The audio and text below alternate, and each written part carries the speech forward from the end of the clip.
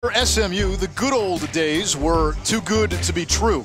College football's Icarus soared to incredible heights, only to plummet into the deepest abyss.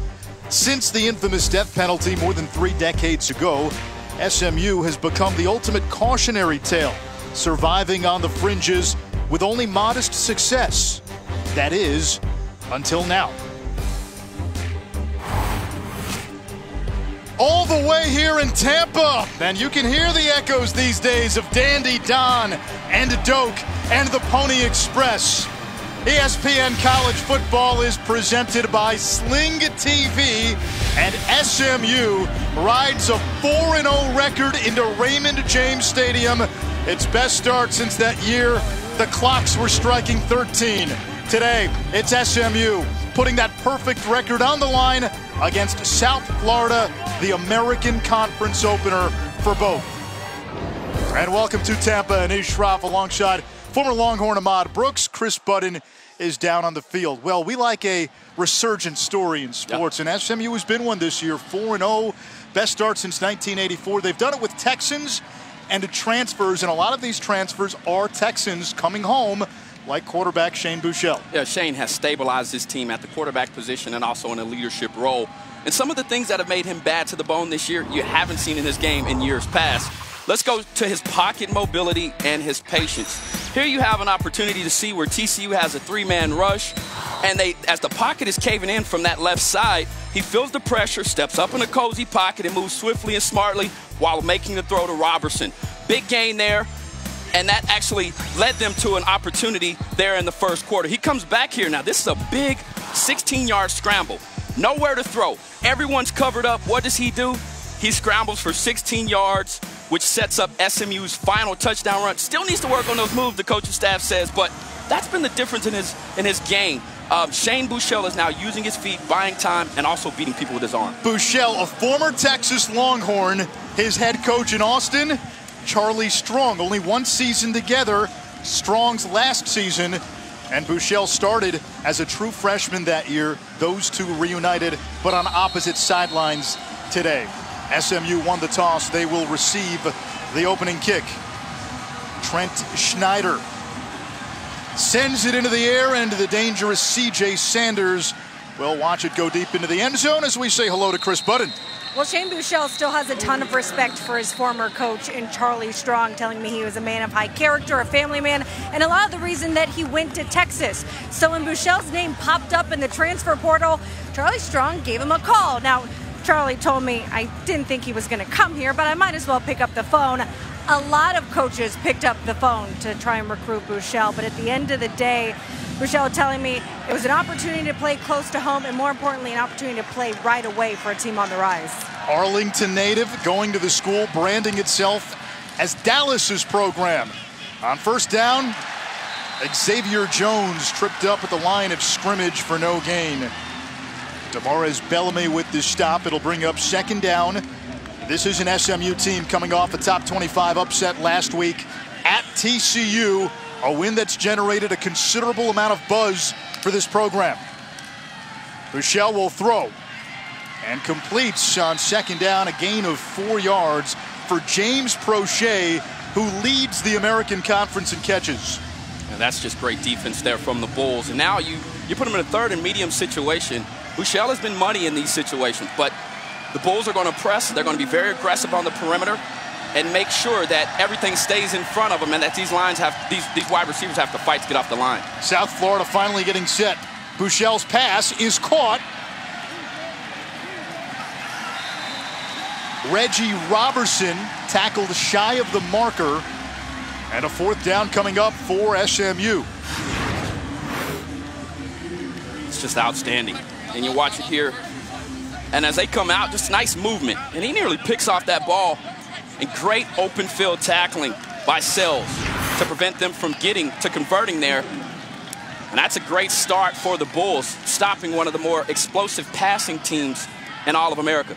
SMU was 50% on third down coming into today. Warren Scott punts it away. KJ Sails will let it bounce. And it rolls out of bounds near the 30-yard line, a 37-yard kick. Jordan McCloud will make his second career start at quarterback for South Florida. Going into the season, Blake Barnett, the former Alabama quarterback, was expected to be the guy. There was no real controversy, but this offense struggled in two games against Wisconsin and Georgia Tech. McCloud came in late in the Georgia Tech game, started two weeks ago against South Carolina State, and that win two weeks ago is South Florida's only win. They're coming off a bye week.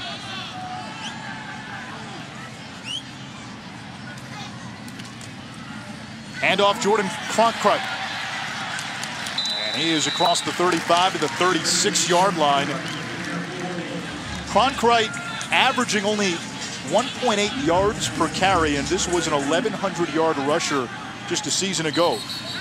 He gets it again, and there's a penalty marker.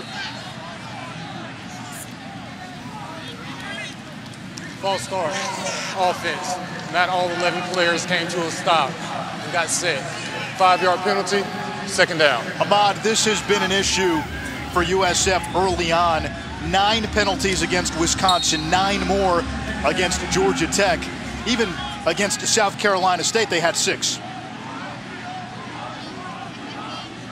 Yeah, and a lot of that that starts with your quarterback. You, have got a freshman quarterback. We addressed this. Our crew did yesterday with Charlie Strong, and he said the thing that's been most frustrating is that those aren't aggressive penalties. Those are things that they can clean up. Not much running room this time for Cronkrite. And it'll bring up a third down. This is the best defense SMU has had in years. Yeah, I, I, like what they do on the perimeter. They've also got two safeties that are stout to be lids on the back of that defense. And they've got a linebacker, we'll talk about him today, Patrick Nelson, who's very active and likes to blitz in these types of situations. Nelson's the guy, two and white to watch here for SMU. Four-man rush. McCloud checks underneath, completes the pass. Not much running room for Terrence Horn. And three and out go the Bulls. That's a great job of tracking there from Armani Johnson at the cornerback position. Just getting over the top of that route. That is a difficult route to defend, especially when they're trying to drag underneath a bunch of traffic there, but he sifts through it, makes a great tackle, and now both offenses off of the field after three and out. Schneider to punt, the 29-year-old Australian, a left-footed kicker who worked eight years in construction. Oh boy, that's tough work. I did it one summer before I went to the University of Texas. I'll never do it again. He did it for eight years before South Florida. Proche back deep. SMU bringing some pressure. Proche with a chance here inside his own 30.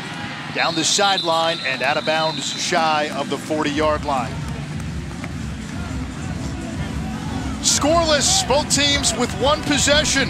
That man is having quite a Saturday. You're watching the American Conference on ESPN. It's the conference opener here in Tampa between South Florida and undefeated SMU. Both teams exchanging a pair of three and outs. Second offensive possession for the Mustangs. They come out in a two tight end to look. Shane Buechele, the conference leader in passing yards, looking for Gailliard. It's tipped. Gailliard catches it off the deflection and brought down by Mike Hampton. A gain of 17 and a missed opportunity for South Florida. Uh, no doubt about it. And, and, Hampton just guesses on this route. They're in their RPO package.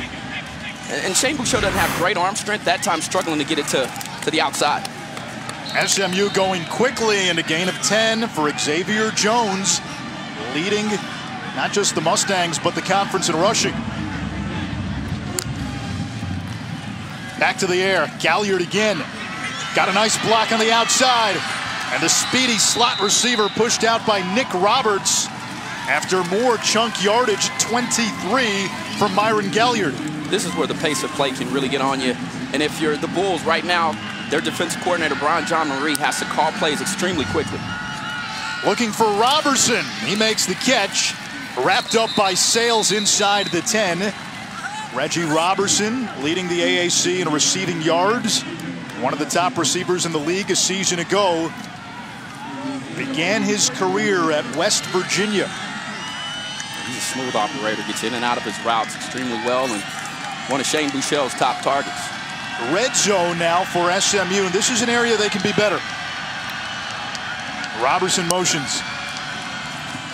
Jones gets a good block from Ryan Becker and Xavier Jones with the first touchdown of this game, the tight end clearing the way. And the Bulls right now are just disappointed. I mean, this drive started off where you should pick off a pass, and now you come back and they really started to press the gas. And SMU with some good fortune.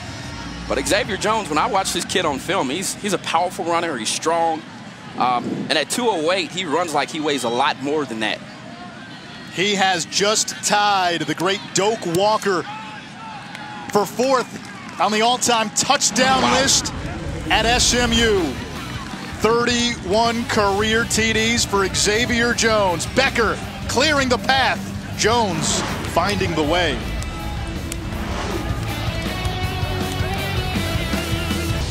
ESPN College Football is presented by Sling TV, the best of live TV, and get thousands of top shows and movies on demand. Paul Lane, a former SMU cheerleader, has not missed a Mustangs game, home or away, in 47 years. Today, his 512th consecutive SMU game. There have been some incredible highs, but the last 30 years or so, there have been a lot of lows. And if SMU wins today, they go back to the Boulevard for next week's game against Tulsa with a chance to be ranked for the first time since 1986. That's a, that's amazing, and it certainly brings back some great memories of the Pony Express and some of the better times uh, for this university.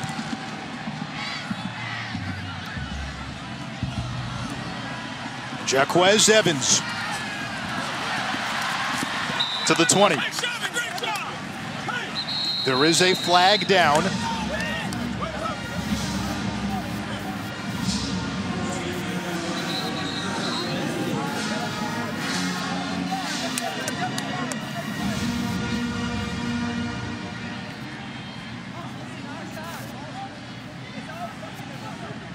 During the return, holding, return team. That penalty is 10 yards from the end of the run, first down. Second penalty on USF, and again, that has been problematic in the first three games of the season. SMU had some glory days years ago when Don Meredith and Doak Walker were there, and then, of course, the Pony Express, Craig James, Eric Dickerson, the death penalty in 1987 crushed the program. Since then, they've had a few winning seasons. June Jones put together a string of winning seasons, but they have never reached the heights of success that they last did more than 30 years ago in the days of the Pony Express. On first down, this is Johnny Ford, moved to wide receiver this year. He was terrific as a running back a year ago. He's a playmaker, Ahmad. They have to find a way to get him the ball in as many different ways as they can. Yeah, and the coaching staff was adamant. Kerwin Bell, the offensive coordinator, said, we'd like to get him double-digit touches. And he's the guy that they believe is the man beater. He can beat one-on-one -on -one coverage no matter where you put him, and they'll be looking for him today. Empty look here on second down. McCloud will keep it and pops ahead to about the 15-yard line. A third down now for USF.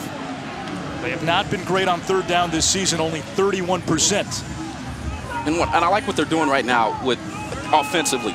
They've got four wides in, which makes it a lot easier for this freshman quarterback to be able to decipher pre-snap whether it's man or zone coverage because they will mix it up. Um, SMU will. And so I think right now he's doing a good job. Watch for the quarterback draw in these types of situations. There's the pressure from Pono Davis. McCloud gets rid of it, completes to Bryce Miller for a USF first down. I'm going to tell you what, that's a big play. You know, you got pressure in your face.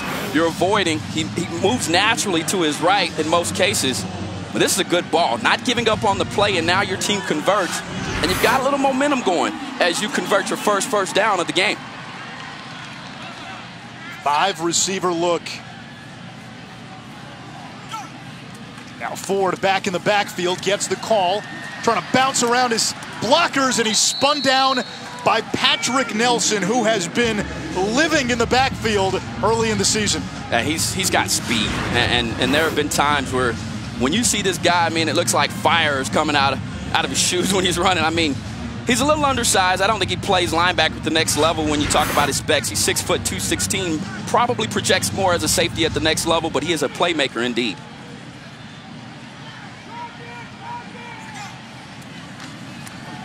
McCloud under pressure and blown up.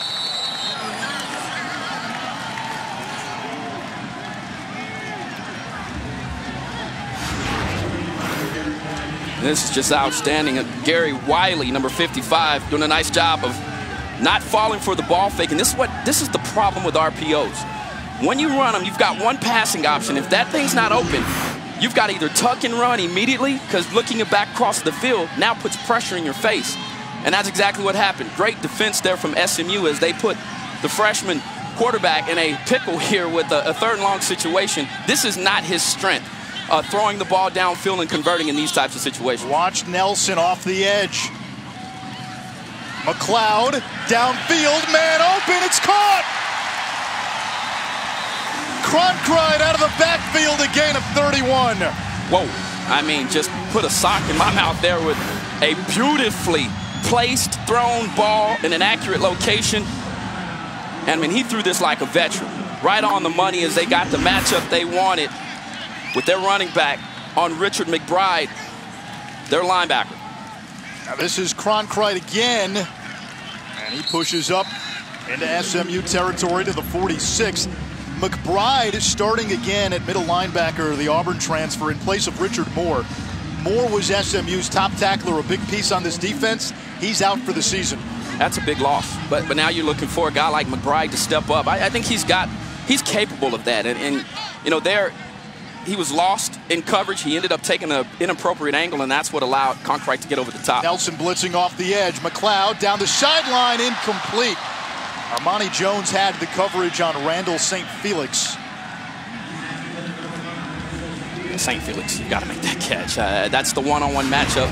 He made the right decision as you watch the end of this play.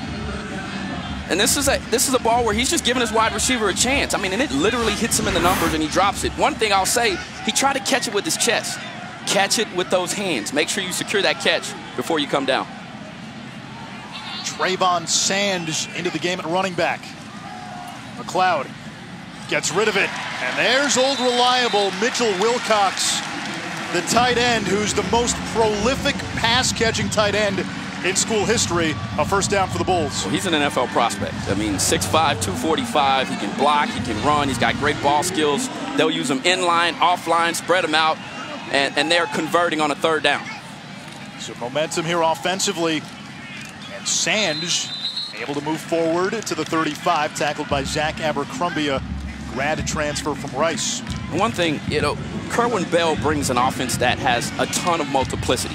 And you've already seen different formation sets. They line up in four wides, then they'll come up in an ace formation, two tight ends. And it's hard for a defense sometimes to understand the personnel. So uh, let's watch that throughout the course of the game because right now it really is confusing uh, the Mustangs.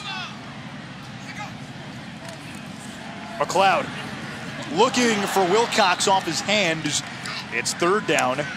You mentioned Kerwin Bell, new offensive coordinator for South Florida. Sterling Gilbert left to take the head coaching job at McNeese State, and Bell came over from Valdosta State, where he had a high-powered offense that won the D2 National Championship a year ago. They averaged more than 500 yards and wow. more than 50 points a game. oh, boy. Kelly Joyner in the backfield. Third and seven. Pressure from the edge. Again, down the sideline. Incomplete. Good coverage by Johnson. And it's fourth down. That's outstanding coverage. I mean, I'm going to tell you what he read is he was in the prime location as there was an injured man down on the field. Looks like Richard McBride. That would be a major loss considering Moore's already out of this game. He just can't take that loss. Hopefully for the Mustangs, this young man is okay.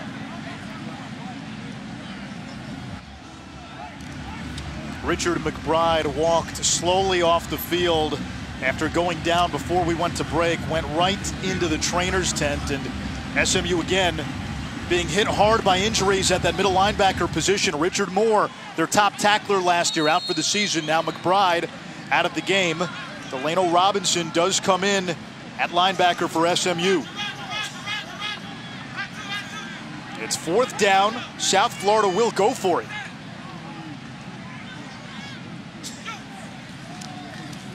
Five-man pressure. McCloud will run. Gets past Robinson. He's got a first down and more. Into the red zone. Jordan McCloud with his feet. This is a young man who played running back all the way through his freshman year of high school. Then moved to defensive back. Then quarterback. Didn't start at quarterback till he was a high school senior. That was an outstanding decision. I mean, who cares about the run? It was the decision he made. He didn't wait. He didn't hesitate.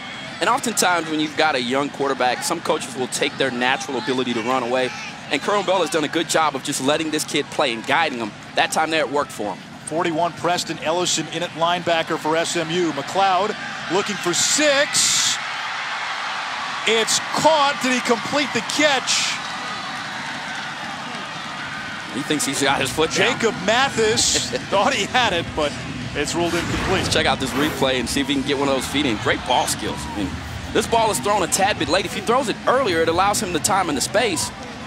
That's a good call. And definitely a great call as Armani Johnson forces him out of bounds. Foot landed out of bounds first.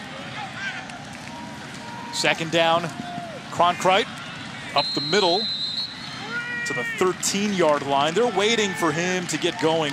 Cronkrite began his career at Florida He's got four of the 15 longest runs in school history, but his long run this year so far, just 10. And not all of that is on him. The offensive line does have to play better. Anish, this is the 16th play of the drive. Uh, they, they've had the ball for 77 yards. They're rolling. McCloud to the air. End zone intercepted. Rodney Clemons with the INT.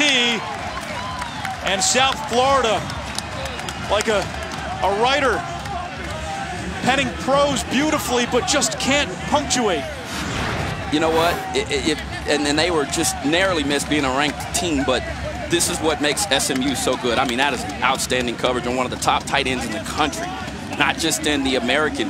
As Wilcox, he just gets he just gets bodied up by the smaller six foot 205 senior Rodney Clemons out of Katy, Texas.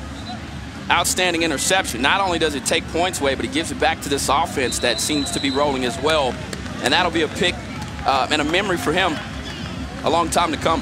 The takeaway streak continues for SMU. Clemons wears number 23. That number has been handpicked by the coaching staff for one player every year since 2009 to honor Jerry Levias, the first African-American to play in the Southwest Conference.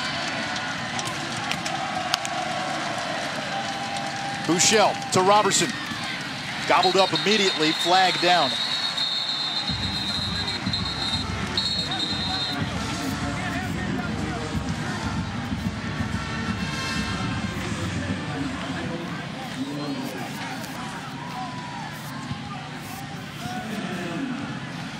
An eligible receiver downfield.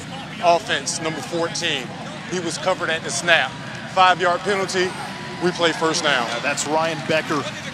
Yeah, that, that, that's tough because, uh, you know, he's a guy that they move on and off, but you've got to check in with the official off the line of scrimmage, and those are penalties that you just don't want to make. And not that that play was good. It may be a good thing that they got an extra down because uh, the Bulls totally sniffed out um, the, the, the, quick passing game to, to the boundary. Bulls showing blitz. Buechele moves the pocket. Throws to the field. Proche broke the initial tackle and fights his way to the 30. He's going to be close to a first down, but there is a flag at the end of the play.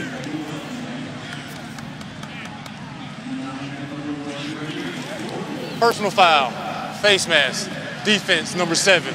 15-yard penalty, automatic first down. Another penalty that's three in this first quarter now on South Florida. Yeah, Mike Hampton, who dropped an interception and then the last scoring drive, now comes back with a costly penalty. And, you know, and, and Shane Buechele's gotten a lot of credit, but Proche and Roberson have really given this offense a boost with their playmaking abilities on the edge. Two of the top receivers in the conference. Jones out of the backfield. Good blocking up front. And Jones had a nice legion to spring him for a gain of 12. I'm glad you mentioned the blocking because all three of the Bulls defenders were locked up and engaged um, with um, Mustang blockers. Going quickly, Buechele back to Roberson. And we've seen this throughout the season as we get another flag at the end of the play.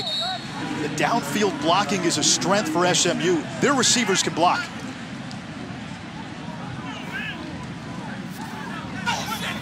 Holding, offense, number 14. 10-yard penalty, replay first down. Now, sometimes they skirt the rules. well, you know, Becker's one of those tight ends. He can't wait to get his hands on those pesky DBs. And, you know, the rule of thumb is you want to get your hands inside. Oftentimes when you get them inside, the officials don't call that because they can't see it. It's when you get them on the outside and on those shoulder pads and and that they rip away and you see the, the jersey pull is when officials like to, to bring out those flags. First and 15, Roberson in motion. Buechele, swing pass to Roberson. Changing direction and gets close to the original line of scrimmage, second and long. Reggie Roberson transferred in from West Virginia a few years ago and really opened the eyes of this coaching staff to the transfer portal and what it could mean for SMU. They've mined it well. This is Jones mining for yards right up the gut. And it sets up a third and manageable, a gain of nine. I'll tell you what the Bulls are not handling right now is the pace of play. I mean, it's just really wearing on them. And, and as SMU continues to press the gas, it makes it extremely difficult. That time there, they weren't even set up uh, for the run, and, and Jones just pops one right up the middle as you've got a third down now. It appears as though they're going man-to-man, -man, one free, one high safety, meaning they're going to try to take away the run here and force Buechele to beat him with their arm. They'll run it. It's Jones. He breaks free. See you later. Touchdown. Xavier Jones, his second of the day. Wow. if you're Charlie Strong or Brian Jean-Mary, the defensive coordinator, you don't know what else to do. I mean, you've got eight people in the box, literally. Look at the, the numbers here. And you don't stop the run, and a matter of fact, it pops out for a touchdown. That's just poor defense, and, and that's not the coaches. That's the players not executing. And uh, as SMU takes full advantage of it and now takes a commanding lead at, at 13 to nothing. Extra points have been an adventure. They've missed five this season. Russell Roberts on for the PAT. They are two for two today. Xavier Jones, a fifth-year senior, battling injuries most of last year. He's been one of the best running backs in the American in 2019.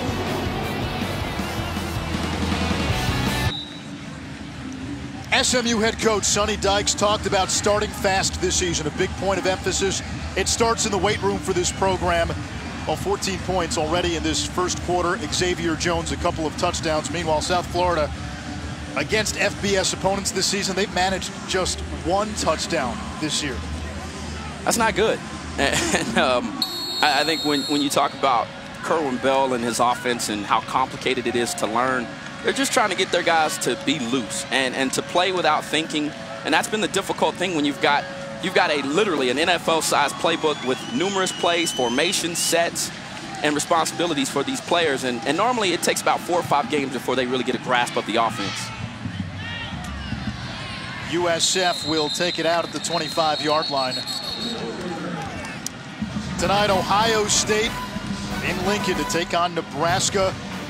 Game day was in Lincoln I'm this this morning, 7.30 Eastern. Buckeyes, who have been bulldozing their competition, they've had Nebraska's number the last four meetings. This be the marquee win for Scott Frost as he tries to turn around that Huskers program. I'm going to tell you what's going to have to return, and that's the black shirts. I mean, they are going to have to play a heck of a game there in order to stop Justin Fields in this offense because Ohio State – despite having Urban Meyer, uh, they've just continued to roll. And Justin Field, one of the better graduate transfers, or, or, transfers, I should say, in the portal, has paid big dividends for them. Cronkrite on first down picks up a couple good news for SMU. Richard McBride, who went down on the last drive for USF, is back into the game for SMU at linebacker. That is a big deal. And, and it, you know, the injury got friendly fire there, got he gets rolled up on, and to see him back in the game, I'm sure the SMU staff is, is excited about that. And then now on the opposite side, uh, Jordan Cronkrite has to come off because his helmet comes off, and so um, two of the two of the better players missing a, a play or two. McCloud rolling out, looking downfield, throwing downfield, intercepted again by Clemons. His second of the game. He's got three on the season. And now SMU to the sideline where they have the turnover table service. Poorly thrown pass here, just, I mean, way under target. I like what they're doing here, try to get him on the move. And he, he doesn't have a great arm. I mean, and I think you see it there. After the interception, after the play, unsportsmanlike conduct on the intercepting team, number 23. 15-yard penalty, first down. Now the penalty Timeout. on Clemons, the senior, the captain out of Katy, making his 42nd straight start.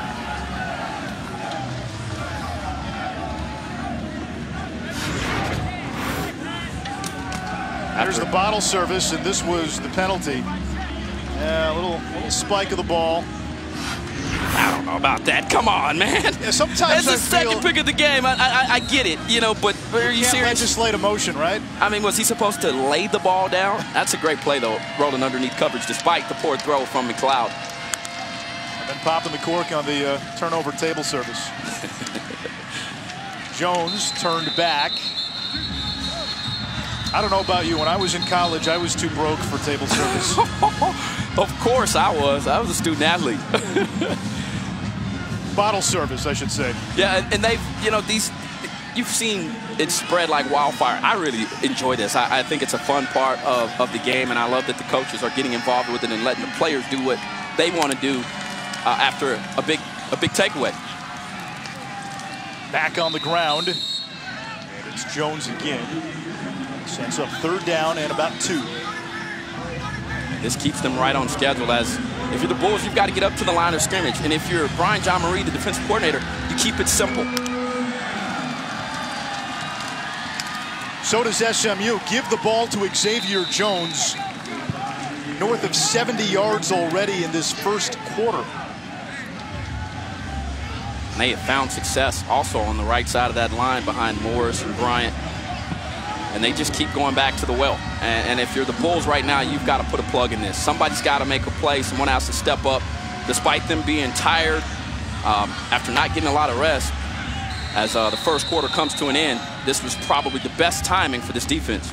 SMU was flashing a wildcat look to take that quarter down to the final seconds. Xavier Jones, the big offensive star, he's got a couple of touchdowns. Rodney Clemons, a couple of picks. All Mustangs in Tampa.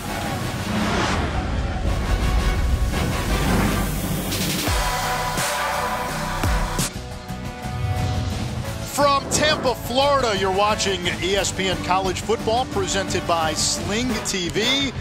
SMU off to its best start since 1984. 4-0 and up two touchdowns on South Florida. The Bulls have not beaten an FBS team since October of last year. First down, it's TJ McDaniel, the freshman out of South Lake, Texas. Came into the season in the red shirt program, then in his debut against Texas State, eight carries, 159 yards, three touchdowns. He still may red shirt, but that is now a fluid situation. Buechele going deep for Proche, breaks it in with one hand. Did he stay in bounds? They will debate. It is a catch. Whoa. Two flags down, back in the 30. Might have a late hit. And and this is what SMU does well. I mean, let, us have a look. I mean, he Personal calls that thing. Roughing the passer. Defense, That's a number catch. 45. 15-yard penalty, automatic first down. I can't tell if his elbow hits before his knee, but Buechele standing up tall and throwing that ball downfield, this team is great at it. I mean, you start to look at some of the numbers with them throwing the ball 20 and 30 and 40 plus yards. They rank among the nation's best in those categories. Now, they've had a couple of road wins already this season, beating TCU last week. Uh, this is a catch. A great call by the officials. This is a catch, and I think they made the right decision. My question was, Anish, what did his elbow go down out of bounds before those knees did? But his knee was clearly in bounds. Great ball skills, beautifully thrown ball. I mean, if you're a DB and you're Mike Hampton, there is nothing you can do. He holds on to the football.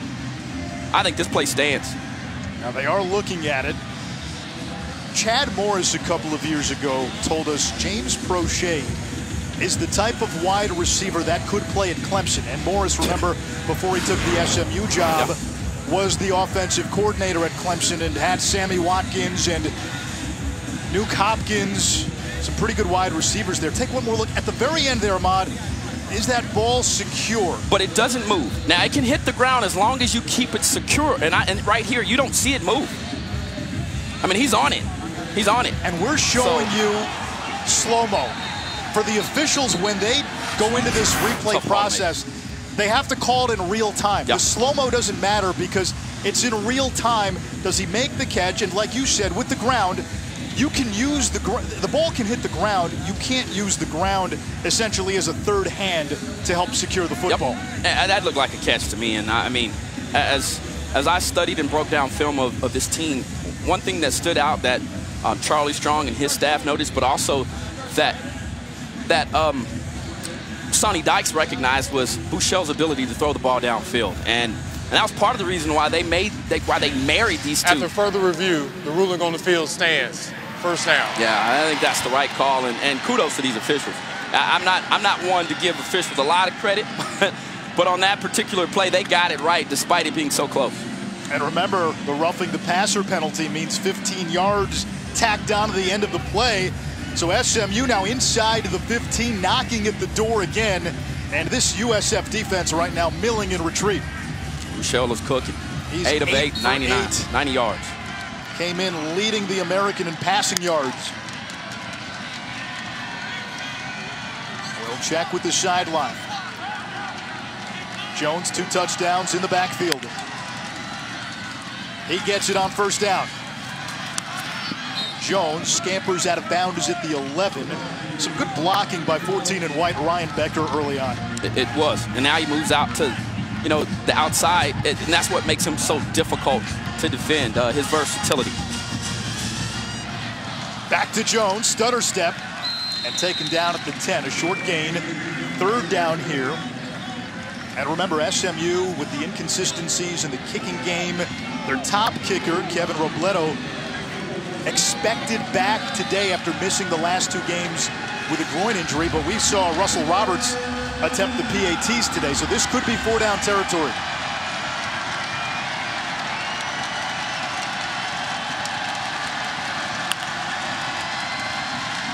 Buechele, plenty of time. Now he'll tuck it. Buechele reaching forward a yard shy of the marker. And if you're Sonny Dykes, Ahmad, do you go for it here? You roll the dice. I mean, and he's keeping his offense on. And in fact, he's bringing in some more muscle. And Becker, Ryan Becker, the tight end. Great decision by Buechele. That, and I, we talked about it early on in the open. That's what's made him different. You know, his freshman and season, his freshman and sophomore seasons, he'd have thrown that ball and it might have been intercepted. This time he tucks and runs. As uh, USF now calls a timeout and I think it was the right call to make for sure. As Buechele and this Mustangs offense, I mean, they are galloping all over the Bulls.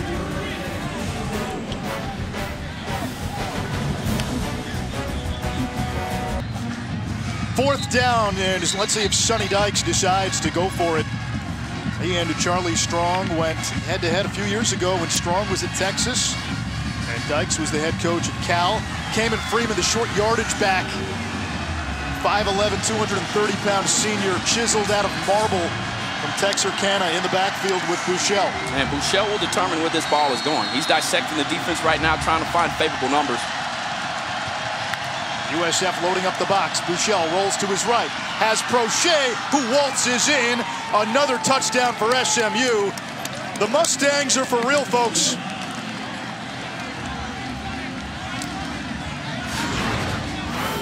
And on the outside edge, they run what is called a rub and a pick route as Buechele boots to his right or moves to his right.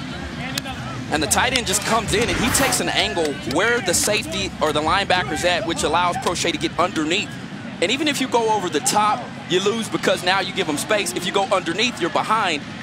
A real pickle that it puts you in with that route, and, and SMU executed it to perfection. Now the PAT, and Roberts' kick is good. So Three for three today on the adventurous point afters for SMU. Mustangs, after an early three and out, have been rolling all downhill. James Proche caps another scoring drive. SMU's offense humming And some early missed opportunities have haunted South Florida. Yeah, you go back to the first scoring drive, and the cornerback, Mike Hampton, has an opportunity for a 14-point swing. He picks this off. He goes to the house. And they, they come back, they score on this drive, and then you come here. You jam all the numbers in the box, expecting the run on a key and critical down, and the running back goes untouched. So despite the score being 21-0, South Florida has lost opportunities. And you're right, Anish, they also had a 16-play drive that ended in, I believe, in an interception in the in back the of the end zone. zone. Yep. So, you know, it's that type of thing when, when you have a young team like Charlie Strong has right now. You're hoping that they, they don't lose their confidence and can come back out here and still fight and make this a game that's close. Evans from his own end zone, he'll stay put. They made the change, South Florida did at quarterback a couple of weeks ago to the redshirt freshman Jordan McCloud. And talking to the coaches, they said they felt they needed a spark offensively. He was the guy that teammates and players would rally around. He gives this offense a running element as well, which Blake Barnett can't do at the same level. The early returns were promising 55 points in a win against FCS South Carolina State, then a bye week. Yeah, but today, a couple of interceptions, and now a 21 0 hole for the Bulls.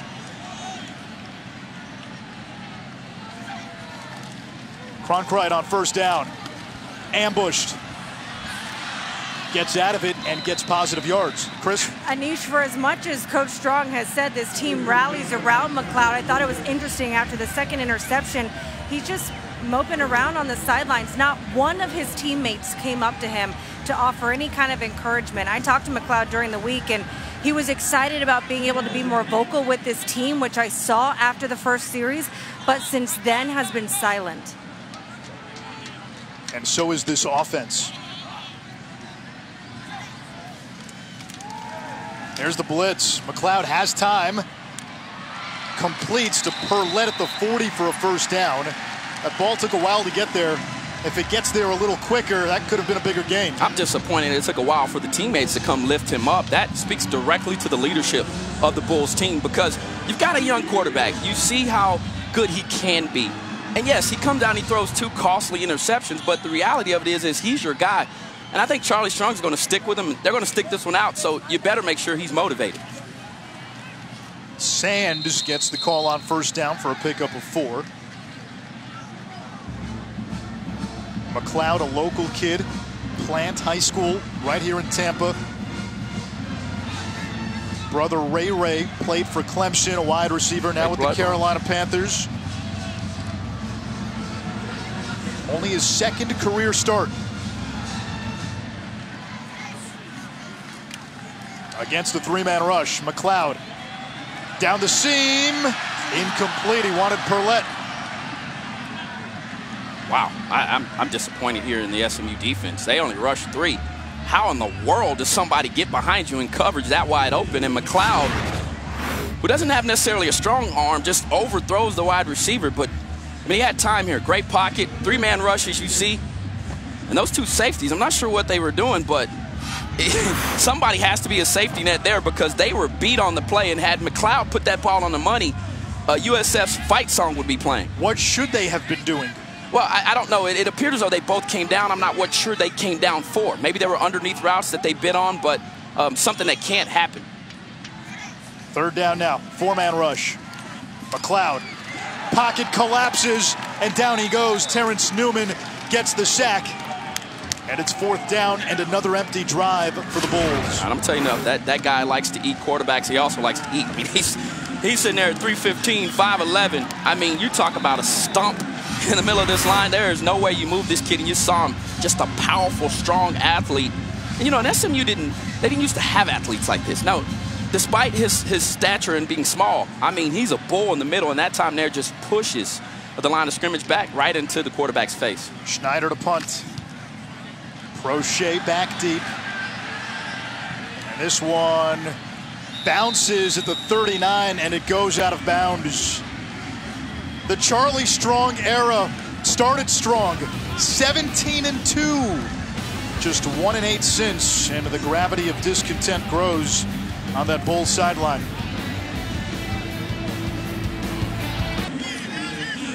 Shane Buechele, son of former big leaguer Steve Buechele, is pitching a perfect game. Dad didn't pitch, he was an infielder. But Shane is 10 for 10, 126 like yards. And doing it against his old coach, Charlie Strong. Those two teamed up in 2016 at Texas. Strong's final season in Austin. Buechele will throw on first down. That's complete to Rice, who's across midfield. A gain of 10, and let's call it a first down. And this offense right now, uh, it, they're just rolling. They're, they're in a great rhythm and calling the right plays. Gailliard, again, great downfield blocking. That time it was Granson providing the block to spring Gailliard for extra yards. Those bubble screens, those tunnel screens, the blocking sells it. Yeah. TJ McDaniel. He's to the 40, third and one. And, and, to that point, to be able to get the ball to the perimeter that quickly, you've got to be Shane Buechele. His background's baseball, and his his arm slots, the release points, the things that he does with the ball so quickly. The coaching staff said it's almost like him turning two, as there's an injured man down on the field for the Bulls. Greg Reeves just went down as a South Florida player was trying to leave the field. You never want to speculate, but you saw a South Florida player leaving the field, and Greg Reeves went down. We never want to be the ones to speculate about an injury, but watch 51 trying to run off the field. That's Stacy Kirby, Greg Reeves, number four, goes down. An injury timeout was called. It was third and short. You can make that call at home however you see fit. Reeves now on the sideline. Buechele will hand it off. That's Ke'Mon Freeman. And a first down at the 30. That was an explosive cut. he just put his foot in the ground and, and, got north and south. Outstanding run from Freeman. South Florida late getting set up. Buechele, time in the pocket. Floats it downfield for Roberson. Roberson end zone. Touchdown SMU. Sonny Dykes told us when Cal played Texas in 2016, he was impressed by Shane Buechele's ability to throw the deep ball.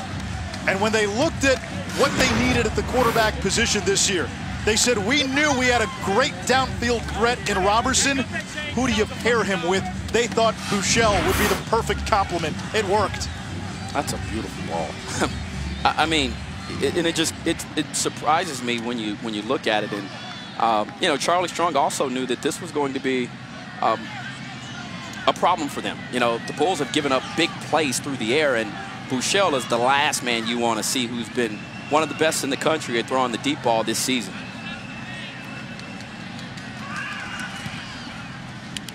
PAT is good, so special teams even firing on all cylinders for SMU. They had missed five extra points coming into today. Buechele, three completions for 20 or more yards today, 23 on the season, 13 for 13.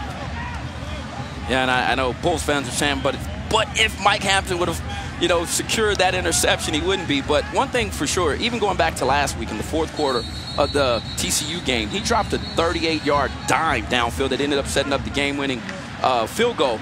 But it was a three-man rush, wasn't a lot of pressure, and he just threw the ball perfect in the perfect location. And when you look at his pass, you know, they, they talk about the weight of the ball. Oftentimes, you have guys with a big, strong arm that'll throw it, right? And it's hard to catch. His ball is so catchable. It just, I mean, it almost just like lays in there like a loaf of bread. And you see the wide receivers, very easy for them to run through the catch and uh, Buechele is he's off to a fantastic start, but this is something that you've seen throughout his career that he's been exceptional at. What's different about him now than when he was at Texas? Well, it's his ability uh, to, to be mobile in the pocket, to be patient as a passer, and I think also his running threat. I mean, I don't think anybody at the University of Texas would have confused him with a runner. Uh, he averaged uh, right at around one yard a carry uh, there while his time on 40 acres. He comes here, he's averaging 3.3, and we've seen him today even make some plays with his feet. That's been the major difference for Buechele. A line drive kick, and South Florida will take it to about the 33. We mentioned that game between Cal and Texas when Buechele was a freshman, 2016.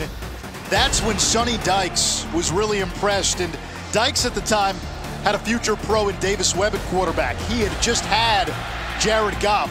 Buechele's numbers, yeah, they don't wow you in that game, but the deep ball did wow Dykes, and he filed that in his back pocket. Arlington kid coming back home to the Metroplex. It didn't work out at Texas that freshman season. Started 12 games. They had beaten Notre Dame to open the season, then lost that game to Cal, actually. And that would be Charlie Strong's final season in Austin. McCloud looking for Ford. Incomplete. Covered well by Brandon Stephens. Ahmad, I know you love Stephens' story. Running back all the way throughout high school. Running back at UCLA. Wanted a fresh start. Came to SMU. The coaches said, can you play cornerback? And he essentially had to earn his scholarship. Got to try out first practice. Defensive coordinator Kevin Kane says, who had that PBU? It's Stephens. He's now a starting DB playing this position for the first time in his life. He plays with great confidence, too. And, uh, yeah, I, I like what he's bringing to the table. McCloud taken down in the backfield. Shane Haley. Kris? Keep an eye on McCloud's throwing wrist. In between series, he was looking at it, wincing, holding, rolling it. You could tell having some pain in the throwing wrist. That is just more injury to insult right now for South Florida. Already down 28 0 McCloud has thrown two interceptions today. SMU showing pressure. And I think it's coming here. Their DBs are locked up in press coverage on the outside edge. Bull rush three. Incomplete, intended for Eddie McDoom. And it's fourth down. That's a great disguise there from the Mustang defense. Uh, they went to that sugar look, and the sugar look means they normally you'll line up six, seven, eight guys on the line of scrimmage, and you force the offensive line to decide who's coming as a rusher, but you also put the quarterback in a bad spot because he's thinking, is the pressure coming? That time there, they show the look, back out, and a wonderful uh, play for the defense as McCloud misfires. Proche from the 36. Ankle tackled at the 47. Week four Monday Night Football. Bengals Steelers in the Steel City. 8 Eastern, 5 Pacific on ESPN. I cannot wait for Sunday NFL Countdown this week with some help from Uncle Rico of Napoleon Dynamite fame. It's the story of how Minshew Mania has followed the rookie quarterback from Wazoo to Jacksonville. Great story. Imagine if Coach had put in Uncle Rico in the fourth quarter. State champions. That's a great story. I hope there's a segment where they try to throw a football over a mountain. Oh, boy. Shane Buechele has done everything but that today. A couple of TD passes. He has not thrown an incompletion. And a timeout by Charlie Strong. South Florida, their second of the half. It'll be a 30-second timeout. And I tell you what, after going three and out on that first series, they have scored a touchdown in every drive after that. Um, two actually came off of the interception, so 14 points off of the takeaways for this defense. And the, and, and the yardage, I mean, you look at 62 yards on the first drive, 80, 80, 59. They're doing it. They're driving the football. They're doing a nice job right now mixing it up with the run and the pass and have totally worn down this defense for the Bulls and, and I believe totally stripped them of their confidence and their ability to be able to stop uh, the Mustangs. Shane Buechele is 13 of 13, the school record for consecutive completions, 19. a boy. You know, I saw him there, just the pocket mobility that I described to even get that ball off. Now he's on the move. Another excellent thrown ball, and, and then the big time throw here right on the money as Roberson hauls in the touchdown. Greg Reeves, who went down on the last drive when a player was trying to get off the field, is back in. Meanwhile, Jones making everybody miss. And another big game for him, 24 yards for Xavier Jones already over 100 yards in this first half. Well, this is what happens. Now they're just taking what they want now. Now the tempo. Buechele pumps. Downfield for Sanders, incomplete. And we get a flag on the plate. It hit Hampton, who never turned around to play the ball. Yeah, and that's unfortunate because the ball was underthrown. Pass interference, defense number seven. 15-yard penalty, automatic first down. he's in prime position, and he's got to try to close that gap there, and that's what happened. Because the ball was underthrown to Sanders, he bumps the wide receiver before the ball gets there. It's the right call to make, but just unfortunate. And um, Hampton, I know he's thinking, you know, the junior right here from Tampa had an opportunity to get an interception, giving up some big plays today, trying to find his mojo back on the edge. Jones lost the football. South Florida says they have it, and they do. 12th takeaway of the season for the Bulls. They had eight in the win against South Carolina State two weeks ago, and boy, this South Florida sideline needed that. Yeah, they did. And a poor ball security for the Mustangs. As we talked about, they've scored their last four scoring drives. And just trying to make that cut back, the ball gets away from the body. And South Florida with a key turnover inside of the red zone.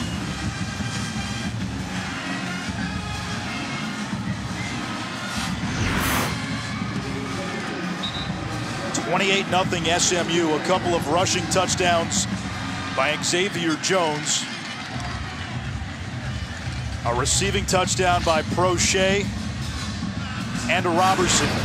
That last play under review. They're checking to see if Jones's knee was down before the ball comes out. And right there, uh, the knee is down. Is the ball out? No, I think this comes back. The ruling on the field was fumble, so you need indisputable video evidence. And right there, that left knee is clearly down. Then the ball comes out. Boy, USF cannot catch a break today. no, they can't. This this is this is going to be the Mustangs' ball, and uh, you know, just this is one of those plays that just totally demoralizes a team, especially a young team for the Bulls. You, you know, it's just been coming all downhill, and now all of a sudden you feel like you make a play, as uh, it, it, looks like this play will be overturned, and I think rightfully so. Uh, it appears though Jones' knee was down, and now if you're the Bulls, just come back out and keep fighting. Bo, you're back here. Now you're now you're playing for pride, in each because with 28 nothing score and seven minutes and 47 seconds to go in this thing in the first half, now you're just playing for pride. You're calling Sharpie this early? Uh, I mean, it's hard not to the way that the Mustangs are rolling downfield and and the inability right now of the Bulls to be able to stop what they're doing and then not score points. So the gap's only going to increase if the game continues at this pace. Tell you what, on the flip side for SMU, they have not won 10 games in a season since 1984. ESPN's Football Power Index, the FPI, has SMU as a favorite in all but one game the rest of the way.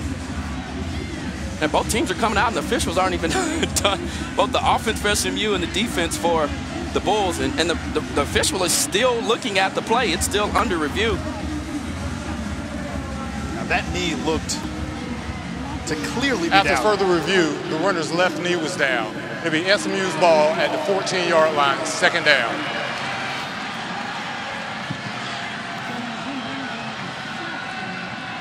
I'm not really sure what took so long. Maybe they were trying to get the spot correct, but wow. Well, here it is. Now you got SMU second down. The one thing that the Bulls haven't been able to handle is the pace of play. And uh, now when you've got these one-on-one -on -one matchups, no high safety, look for Buechele to go back to the outside edges in the perimeter with his wide receivers. And now the center, Alan Ali, falls backwards. We get a flag. Snap infraction. Offense, number 77. Five-yard penalty, second down. Now, last year for SMU, they got off to a slow start, 0-3.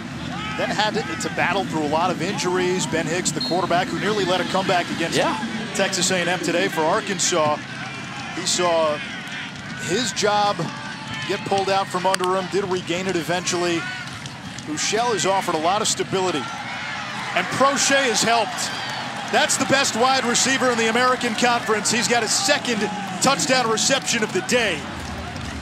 And right now, SMU's offense is typing in caps lock. Goodness. I mean, another dime there from Buechele, but these sure-handed wide receivers are making them pay in coverage. And this is just a wheel route. You know, so he pretends that he's going out and he comes back up and it's good coverage there from Vincent Davis for the Bulls, but the ball and the catch were just better as now we're looking at a 35-0 score with an extra point.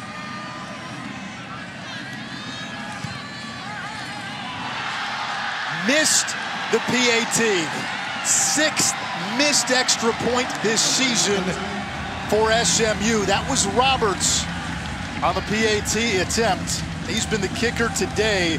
We thought we might see Kevin Robledo, who was the kicker and a pretty good one last year, and Robledo's been bothered by a groin injury. That's one area they have to get right, whether it's Robledo getting healthy or if he's not going to get healthy. Because, now listen, we've watched enough college football. At some point, you're going to have a game or two that's going to come down to special teams and the kicking game. Uh, I mean, Alabama, you can't poke too many holes in the tide over the years, but how many times have we seen them lose a game and when they do, it's because of a kicker? You're right. And for specialists, especially for place kickers and, and punters, you can get in your own head. And once you're there, it is hard to get out.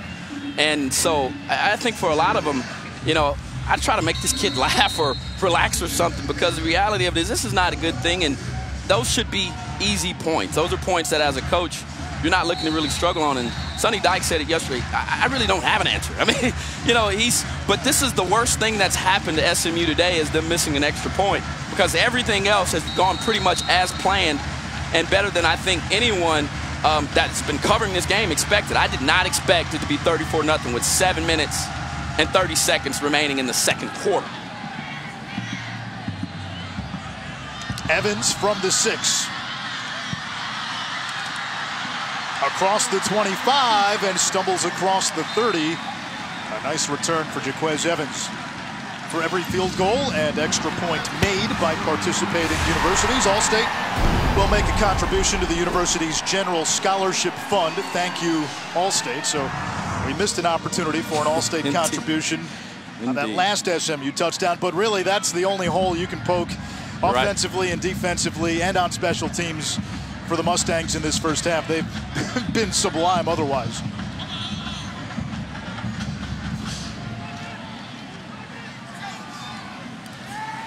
McCloud standing in, incomplete intended for Ford.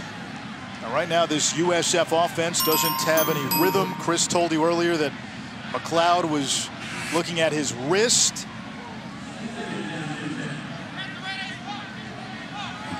Their best drive, a 16-play, 77-yard march, ended with an interception in the end zone. Forward in motion. McCloud in the pocket. Sideline off the mark, intended for St. Felix, and another third and long. Kerwin Bell told us yesterday, I asked him, I said, what are some of the areas of improvement that this young man could make? And he talked about his footwork. And, and for him, not having played the position, and I think a lot of people don't understand that, you know, especially young players, they try to throw the ball with their arm. But for big time quarterbacks, you know, you've got to throw it with your feet. And if your feet aren't set in the proper position, it's hard to make these throws. It's hard to go to your backside. It's hard to get into your throws downfield. And that's something they're working with this young man. McCloud under pressure and sacked. Delontae Scott, his third sack of the season. It's fourth down that's an area where SMU has dominated today, and we thought it could be problematic. You have an offensive line which has struggled in protection against a D-line that can get after the quarterback. Yeah, and Scott, he's got a lot of these on film. Nice job of, of going upfield, forcing McCloud to go inside of the pocket, but falling back. Great hand placement to get away from um, the offensive line, and, and he's rewarded with a sack. Schneider punts it away. Proche from the 30. Little shake and bake and about a 10-yard return. Tonight, Ohio State and Nebraska. We do have a flag.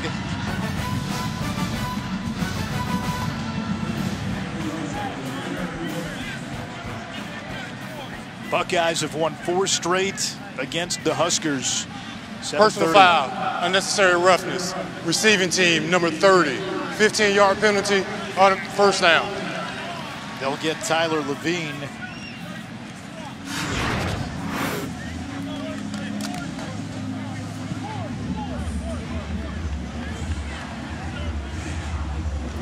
Yeah, just right in front for. of the umpire. Yeah, uncalled for. Trying to get that low-bearing fruit, but He wasn't even involved in the play. 34 nothing SMU. Still six and a half minutes to go in the first half. TJ McDaniel sheds the initial tackle and gets to the 30-yard line. Good-looking freshman running back. His brother Cam played running back and was a captain at Notre Dame. And TJ had a number of Power 5 offers, including Clemson, Oregon. Buechele will keep it and nose dives ahead, uh, about a half yard shy of the marker. Third and one. I like that. I like that decision. Keep the defense on honest. Hold those defensive ends as long as you can. Again, using tempo. McDaniel stood up. Kevin Kegler was the roadblock, and it's fourth down. And we have not seen many stops from USF. In fact, we have not seen a single stop since the opening drive for SMU. You're right. As the punter finally makes his way out to the field, and sometimes that's what that happens with that pace, right? The Bulls were able to determine what was coming. They pressed the line of scrimmage and caught the Mustangs off guard. Trevor Denbow, a rugby-style kicker who's also the starting safety, will punt for SMU.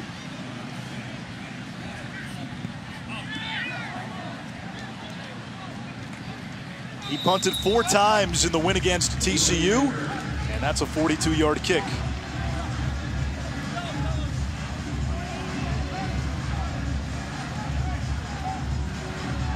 And Ashraf Ahmad Brooks, Kris Budden with you. Raymond James Stadium in Tampa. USF down 34 0 This offense against FBS competition. They played Wisconsin, they were shut out.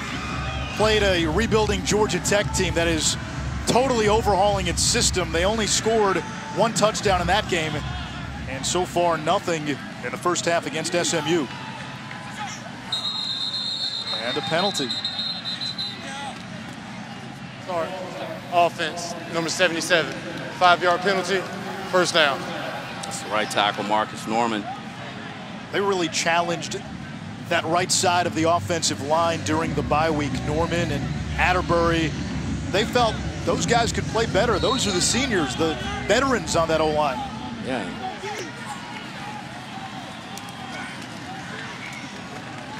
Sands will set up the second and long. Trayvon Sands, senior from Miami, criminology major. Perhaps Miami Metro has an opening. Dexter still maybe out there.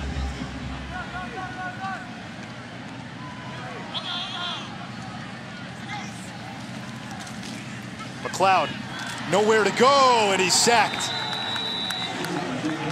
Nelson Paul, and that is four sacks for SMU, which had 15 on the season entering play, and they've done a nice job of keeping McCloud in the pocket. They've done a terrific job. I mean, their angles have been outstanding. This time here, just fighting off the block there from the tailback. And when you force them to go inside, you're more likely to contain a dynamic runner like McCloud and give this defense credit. Uh, they know that his strength at this point in his career is his ability to buy time in, in his feet. Here's Ford. He's terrific in space, but there was no space. No gain. It's fourth down. And another lost drive for USF. Yeah, and Clemons already has two interceptions on the day, but this time, I mean, he just turns into a bull on the back end and forces the block right into uh, the wide receiver trying to run that screen. As you said, there was no space there. And uh, this defense with some outstanding plays as they continue to uh, crush the Bulls. C.J. Sanders, five return touchdowns in his career, waits at the 40. Schneider, good kick. Sanders from the 35, and he's blown up as soon as he makes the catch, a 44-yard punt.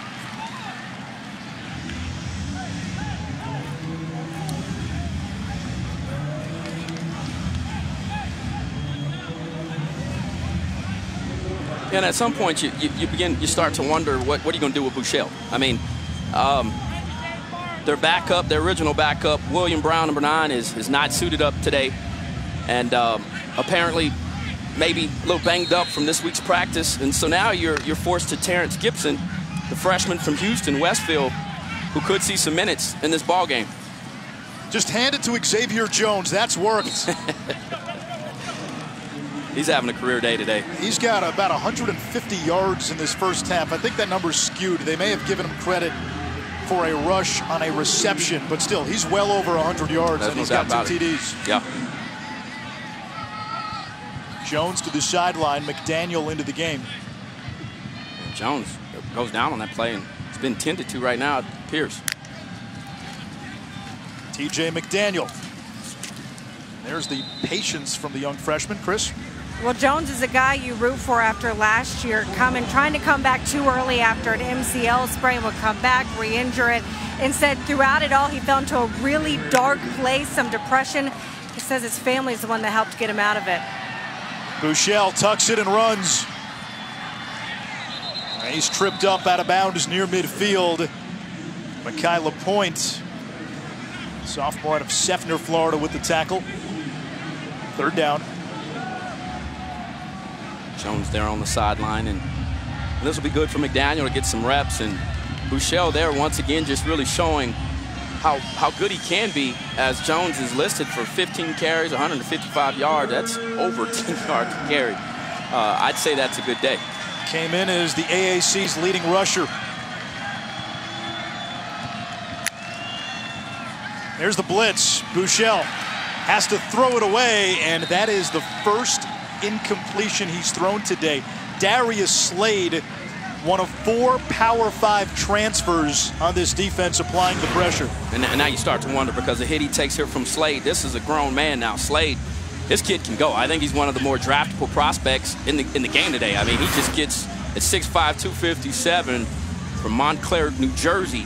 And he upends Buechele there. And, and, and if you're Sonny Dykes and you're up with this margin, I know it, you often Uh, will allow your starter to play through the half, but this game is so out of hand right now, I think you might start wondering, are the backups on their way? And just run the football. This one punted out of bounds by Denbow. 34 nothing. SMU had a big win against TCU last week, and Sonny Dykes wondered how his team would come out. Now, they answered that question with emphasis. At halftime, Kevin Connors and the crew will get you caught up. Clemson and North Carolina in a battle. Mack Brown, can he score a big upset against the defending champions? The Tide rolling against Ole Miss, and you're a quarterback. Why wouldn't you want to play for Lincoln Riley? Jalen Hurts continues to put up big numbers. Had another great afternoon against Texas Tech today.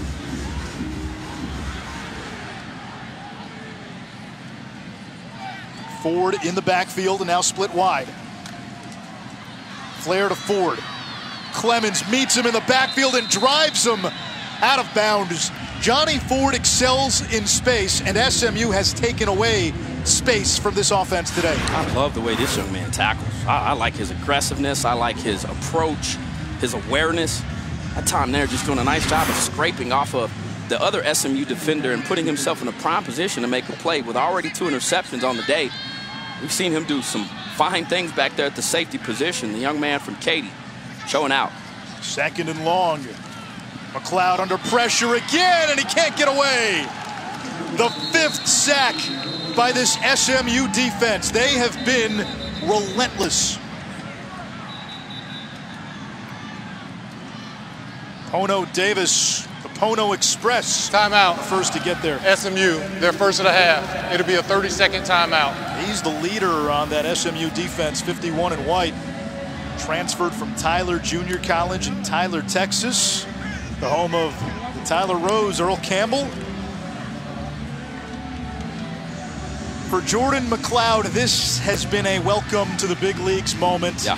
First conference game, first start against an FBS school, and against a pretty good defense in SMU. Yeah, this was after a long drive. He gives one up to Rodney Clemons. Great job by Clemons. This one was just a poorly thrown ball. And then he comes back here. They're in the RPO package. Nothing to the play side. Tries to look back. Defense snuggles him. And it's been all day. But they've done a good job of trapping him in space. And, and at, after that last play, he was slow to get up. You start to wonder, when do you go to, you know, the senior Blake Barnett? How about now? I, I, I don't know. This is a tough decision for me because, you know, we asked Charlie as a crew. We said, Is this your guy? He said, yes. And he addressed it all week in the media. And I think right now, you, you, you, you take away his confidence if you take him out, and you take away his confidence if you leave him in the way that he's playing. So this is a very difficult decision to make. On third and long, McCloud under duress. Sacked again. Demrick Gary this time. Six first half sacks. Mott, here's the, here's the thing, though. If you make the move, just two weeks after you made the change, it screams panic. And the optics of it don't look good. And uh, again, what was Charlie Strong's big bugaboo at Texas? The big criticism, the way they handled the quarterback position. Yeah, this is a tough one. I mean, because I, I, like I said, I, I, I like McCloud, and I think this kid has a bright future. I really do. However, when it comes down to it, now you look at, at Barnett, who's there on the sideline. I, maybe you need a, you know, maybe you need the same type of boost that you thought McCloud provided to you two weeks ago, or three weeks ago, pardon me. So now it's a tough decision, and, and for Charlie Strong, he, he and his staff and Kerwin Bell, they're going to have to make it. They were very clear. Now, they didn't want to get into a rotating quarterback situation. Sanders fielding the punt back inside his own 25. Good kick that time, 61 yards. And SMU with the ball, 55 seconds to go in a first half dominated by the Mustangs. A penalty marker down on the field back at the six-yard line of South Florida.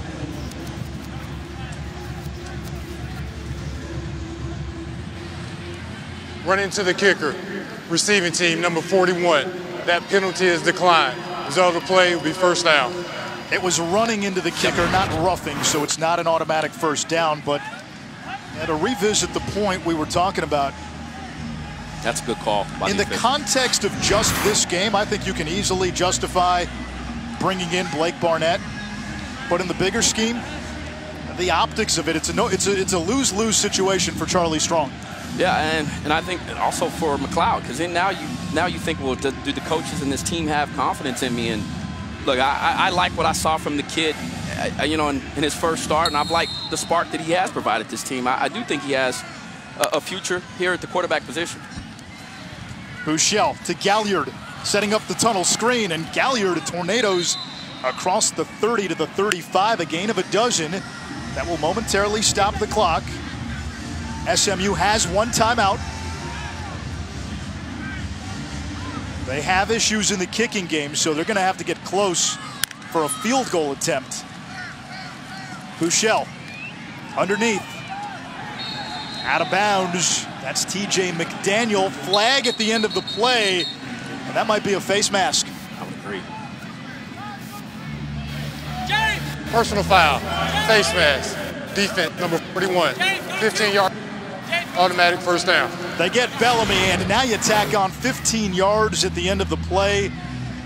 Protecting the quarterback, penalties, errant throws, defensive miscues. It has been just a calamity of errors in the first 30 minutes for the Bulls. That's the seventh penalty, and they, have been a team that's been penalty riddled already this in the season. That Average has to be cleaned up. Eight a game. Buechele off the hands of McDaniel. 26 seconds to go.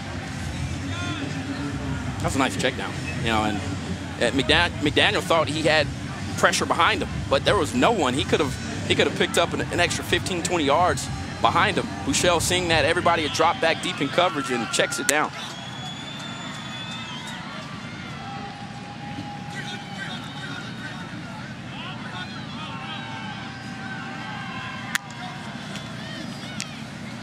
McDaniel on the swing pass. Broke the initial tackle, picks up positive yards, only two. boils the stop. And a timeout by SMU. 17 seconds to go in the half. No timeouts now for the Mustangs. And I think people may be wondering, well, what are you calling the timeout for here? Listen, when you get an opportunity to execute two minute, you have to. It doesn't matter what point or how much you're up in a ball game, especially going into half, because for quarterbacks, for offenses, you've got to execute this. If you can get points out of this, they may need those down the road. And I, I think right now, I mean, you start to look at it. Well, who is some of the competition in the American? And you you, you got that team, Central Florida, yeah, that is. Listen, they're legit, and you're going to have to score points. It may come down to a field goal. It may come to it may come down to three or four points. If if that plays out and, and they're able to continue this train that they're on, then you know what's staring you in the face. Everybody in Dallas would love to see SMU and UCF because the only way it could happen would be in a conference championship. Indeed. Memphis is going to offer resistance when these two teams play. You're right. But from what we've seen, and we have a pretty good sample size now, the TCU win was telling last week. Yep. This SMU team, it has a chance to have a special season as Granson jumped. False start, offense, number 83. Five-yard penalty, third down. Kylen Granson transfer from Rice.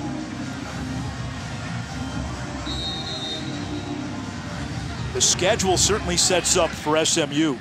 No UCF, no Cincinnati in the regular season. And they've already banked a huge win against TCU. Non-conference win, but still big.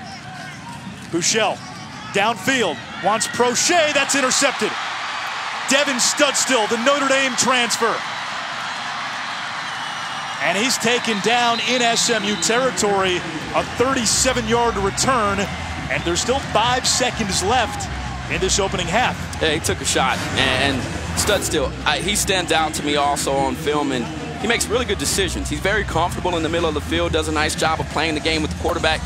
But that was just an outstanding angle, and, and managed to get around him. What an athletic play to get around the wide receiver, still managed to catch the ball with his hands and then run after the catch. Uh, Devin Studstill as you mentioned it, coming from Notre Dame. Uh, I think this is a, this is a young man that will have an opportunity um, as he's a graduate transfer to play at the next level. Charlie Strong recruited him out of high school. One last chance for SMU, or rather USF. McCloud will try to throw it as far as he can, or nope, checked out. And Cronkrite gets out of bounds, but the half is over. What does Charlie Strong say to his Bulls? For Sonny Dykes, there's a lot to like. SMU opening up a can in the first 30 minutes.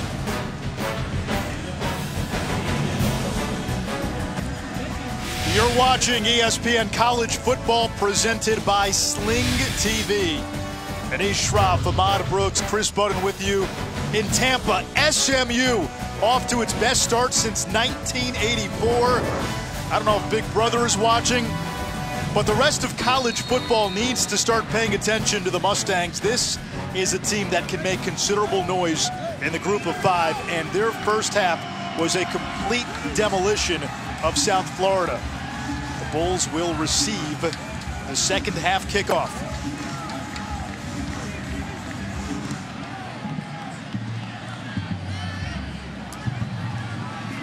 Fielded at the five.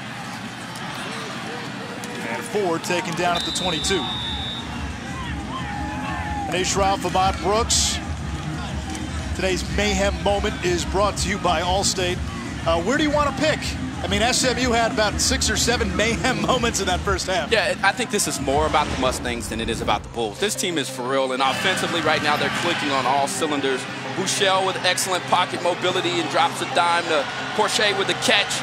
And then you come back, Xavier Jones right up the middle, despite the box being packed for a touchdown, untouched. And then they come back, another big time ball from Buechele for a touchdown. And this offense is just flat out rolling. Blake Barnett in at quarterback to begin the second half, and he finds Johnny Ford for a big gain. Kris Budden, you just spoke to Charlie Strong. This is a surprise. I did. He told me we're going to stick with what we're doing, which was McCloud. So that obviously changed within the last 60 seconds. He was also not a man of many words, and we're getting our tails kicked and walked off. So obviously making the change. I, I think you can do both. I, I really do. I think you can put Barnett in the game and still start McCloud next week and just say, big fella, retire on this one. They get it to Ford.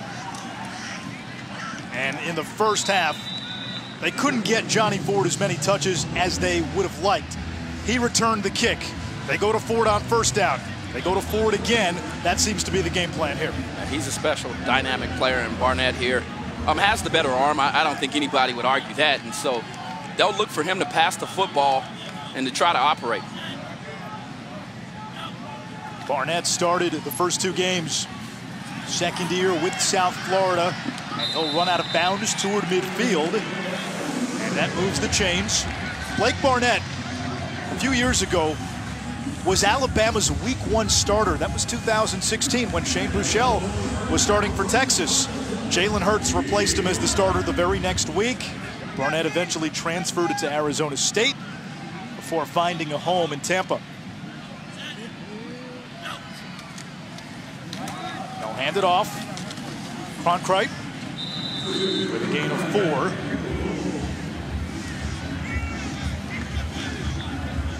Barnett last year was also the king of comebacks for South Florida. Remember, they started 7 0 before losing their last six games a year ago. And in those seven wins, there was maybe some smoke and mirrors, but four times they were tied or trailing in the fourth quarter. And with Barnett at quarterback, they won all those games. Pono Davis to stop after the carry by Cronkrite. Because of all that movement, you know, the, the irony is that this young man has seen six different offensive coordinators yeah. throughout his career. And, um, you know, it's got to be very difficult for him to be able to to learn the different verbiage and to be able to remember and lock in on one particular scheme. Third down. Barnett will throw. Incomplete. He wanted Wilcox, the tight end. It's fourth down. Let's see if the offense stays on the field. I think they will. And to your point, Ahmad, when we talked to Kerwin Bell, first-year offensive coordinator for USF, he said before the week one game against Wisconsin, Barnett told Bell, I feel as prepared as I've ever been for any game. And then once he got out on the field, he said, now all those past inputs were scrambling him. Those different lingos and different language from all those different offensive coordinators and playbooks. On fourth down, Barnett will throw.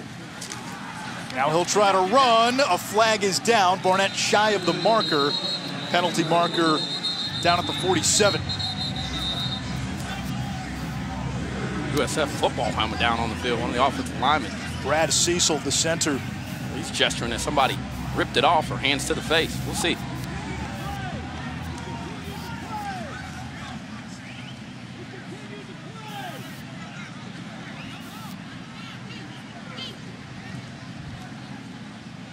Penalty resulted in the helmet coming off, then Cecil can remain in the game. He doesn't have to come out for a play. The point. Personal foul, hands to the face, defense, number 96.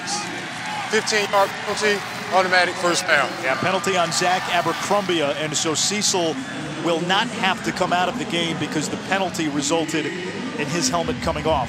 That's a break for the Bulls because uh, SMU bottled up Barnett in the backfield, really didn't have anywhere to throw downfield because of the outstanding deep coverage and was going to scramble and would, would have prevented him from getting the first down. Now a penalty um, leads to a fresh set of downs. Ford in the slot. Von Cronkrite in the backfield. Barnett again to the air. Steps up. Evading the pursuit. And finally taken down by Delano Robinson, a gain of about four. And Barnett's helmet comes off he will, by rule, have to come off the field for one play. Well, I think he came off with, with well, looked like it came off because he got tackled. As McCloud is, it looks like some quarterback's coming in 14 or something. Wow. If it's not a penalty, though, he does, by rule, have to come out for one play. South Florida can use a timeout. I don't know why you would right here. Jaquez Evans in the ball game. Evans is in. We've seen him on kick returns. Snap over his head, rolling back toward the 40. Evans falls on it. Maybe they should have used that timeout. Wow. I mean, you just if you just pan over the uh, USF sideline, it is ejected from this. Not a lot of movement, not a lot of energy, and, and Charlie Strong is going to have to really try to get this group back going next week. I mean, it looked like at the very least he had a scoring chance. Jordan McCloud on the sideline did not have his helmet to get ready. Was that the reason that Evans was put into the game? And it appears it was. That's a, a rookie mistake there by the redshirt freshman. So now third and long. Four-man rush. Barnett has time. Incomplete. He wanted Ford, and it's fourth down. This drive sort of sums up the afternoon for South Florida, the nightmare of real things. You get a little bit of momentum. Barnett seemed to jumpstart the offense. You're getting the ball to Ford, and then his helmet comes off. Your starting quarterback today, McCloud, is not ready, so you bring in the number three QB, Evans. The ball is snapped over his head, and you got to punt it away. Schneider, the 29-year-old Australian, will punt. Proche waits at his own 10-yard line. Fair catch is called for and made at the 16. Another missed opportunity for South Florida. SMU will get its first chance of the second half.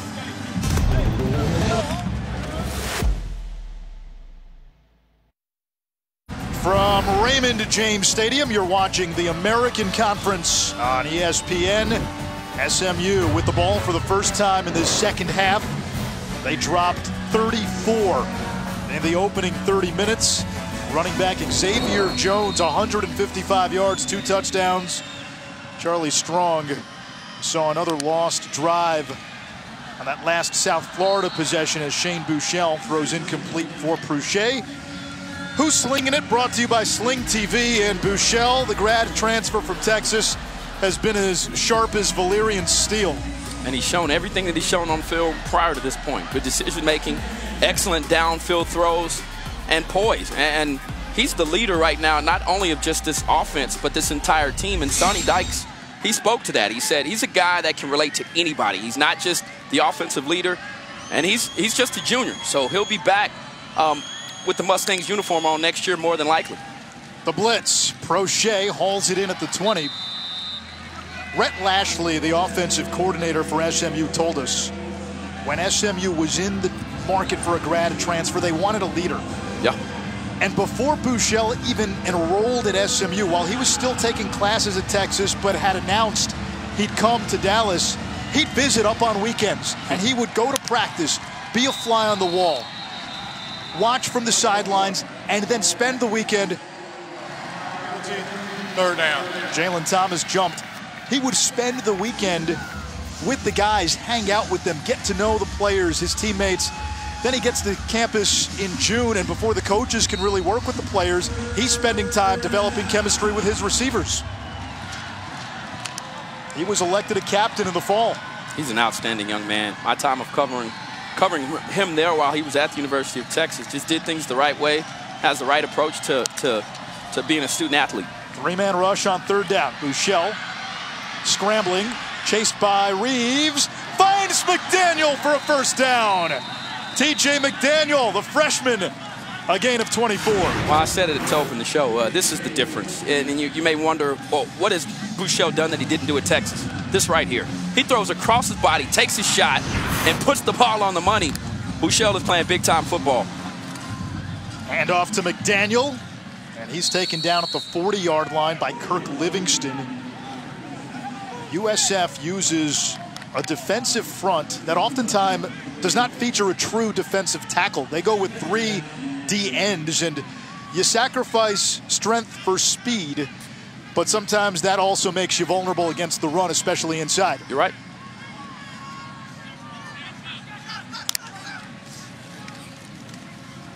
McDaniel again using the stiff arm, taken down for a loss. It's third and 10. And this is where you'd like the young running back to stay north and south. And listen, his cutting ability is, is razor sharp. I mean, this is a young man that can get in and out of cuts, keep his, his speed, um, and burst through the cut. But the older he gets, the more he'll understand, I've got to go north and south um, when it's necessary and know where the marker is. You don't want to have those negative plays. Bulls showing blitz here on third down. One high safety look. Proche turns the corner. And James Proche is going to be awfully close to the first down marker. About a yard shy. It's fourth down. And the offense appears that it will go for it. That's a great read here from Buechele. He knew that he was coming down, and let's see where Proche goes out. Yeah, it's an excellent spot there. And if he keeps his feet there, he, he would have perhaps picked up that first down as now they bring in uh, more muscle.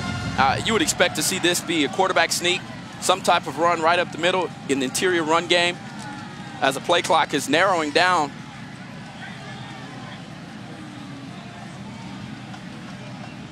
Maybe just take the delay here. That's what it appears, and just you know, this yardage here, and some people are like, well, what happens there? Moving them them five yards back, it, it really only helps the punter and his ability to be able to place one inside of the five or whatever the case may be. You don't really use, lose a whole lot there. But they actually called a timeout. No, they moved it back, it appeared. Yeah, they did take the delay of the game, so now the punting team will come on.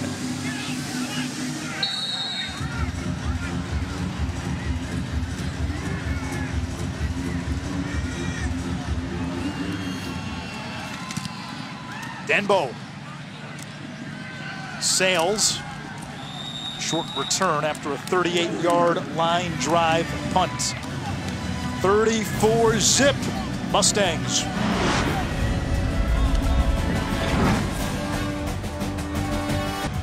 This week, USF hosted rape survivor and activist Brenda Tracy, whose platform set the expectation strives to educate college and high school coaches and players on the cultures surrounding sexual violence. It was the second time this year Tracy spoke with the USF football team. She visited the campus during fall camp as well to discuss her story of survival after being gang raped by four football players in 1998. Tracy set the expectation campaign focuses on raising awareness through sports and signing a pledge in the name of fostering safer and more respectful cultures within athletics. There is Brenda Tracy. She was at NC State a week ago and has been going to different campuses spreading that message this fall. Blake Barnett will throw on first down too high. Kris?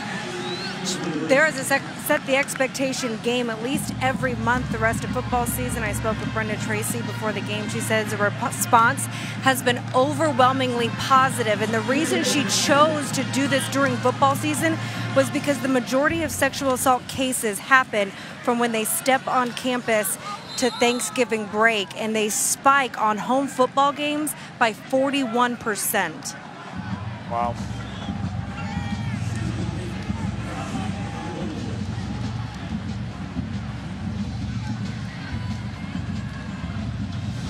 Third and six for South Florida.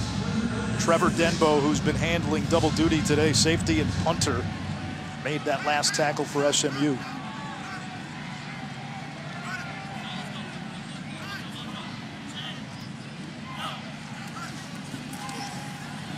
Barnett over the middle. Misfires. He wanted forward. It's fourth down. New offensive coordinator, new O-line coach for South Florida this year, and it's Kerwin Bell. When Sterling Gilbert left, Charlie Strong made the decision to hire Bell, who had a ton of success at Division II Valdosta State. But it's a different offensive system than what Sterling Gilbert had in place at South Florida. Yeah, very similar as you see the list of coordinators for both Texas and South Florida, where you start off with a system where you want to run the football, and then you go to an open system, and and and that really affects the personnel. And C.J. Wow. Sanders is a threat on returns, five career return touchdowns, and he gets into plus territory. But to your point, that was the big knock on Charlie at Texas. There was a lack of offensive identity. It kept on changing, and Everybody in college football and football knows what a great defensive coach he is.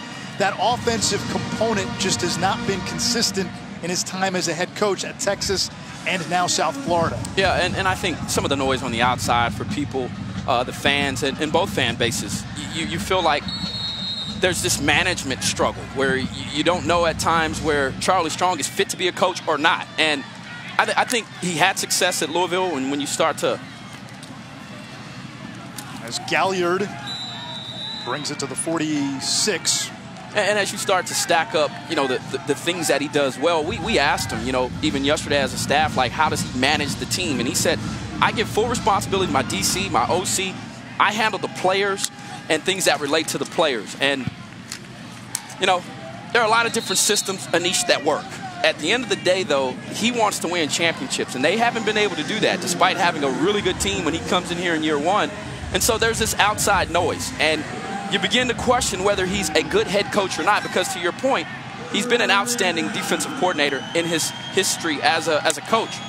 And frankly, as the Mustangs pick up what appears to be another first down. Yeah, Merrick Pierce, the freshman uh, or the senior running back in the game. I, I, don't think that conversation stops. You know, today they, you know, we, we talk about them playing great defense. They've been poor today defensively. Offensively, it looks like they're struggling to find answers. And now you're back into a quarterback controversy, despite him telling our own Kris Budden that, listen, McCloud's our guy. And I do believe that he said that to McCloud. Hey, we're going to put you on the bench. Hadn't been your day. But now, what is the locker room thinking? Now, what is McCloud thinking? So Charlie Strong has some management things that have kind of hung over his head in his last two stops. That's something that, uh, if you're Charlie Strong, you've got to correct in a hurry. And Pierce with a three-yard gain. And what's the narrative going to be this week in the media? Absolutely. I know Charlie Strong may not care about that, but you live in Austin. You played at Texas. You had a first-hand look at what happened there. And do you see a little bit of history repeating? it, it is, and, and, I think it comes with perhaps he didn't have a lot of talent to open up with at Texas and a bunch of entitled babies. Tyler Page sets up third down. Yeah, it didn't really have a lot of offensive talent to work with, and you bring in your offensive coordinator, you're trying to change the system, trying to also clean up the program as an injured bull down on the field. It appears to be 55. Timeout. Patrick Macon. And you know, I, we'll finish this on the other side of the break as Macon, we hope, is okay.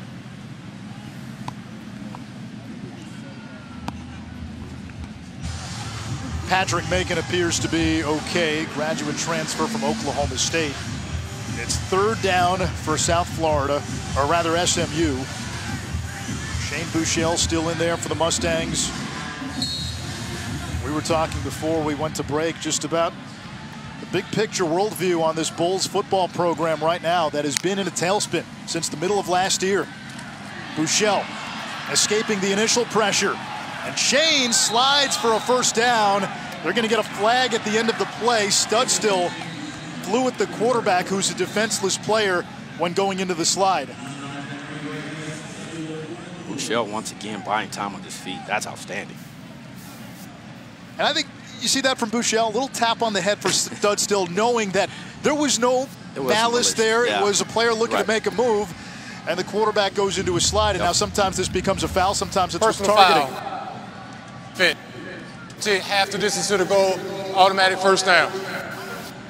No targeting there, but Watch, watch the timing here in this slide. I mean, Buechele slides late. This is a difficult play here for a defender to make because you're already going into your impact position, right? So now, uh, you know, give Buechele credit. I, it was an excellent run. He did slide. And as you said, when he slides, he's a defenseless player. And uh, uh, for if, if you're Studstill, you have to continue to play with the aggression that he plays with and the aggressiveness because um, that's what's made him uh, one of the best in the American at doing what he does. Merrick Pierce into the game. He gets the call, fighting ahead to the 11-yard line, a gain of about three.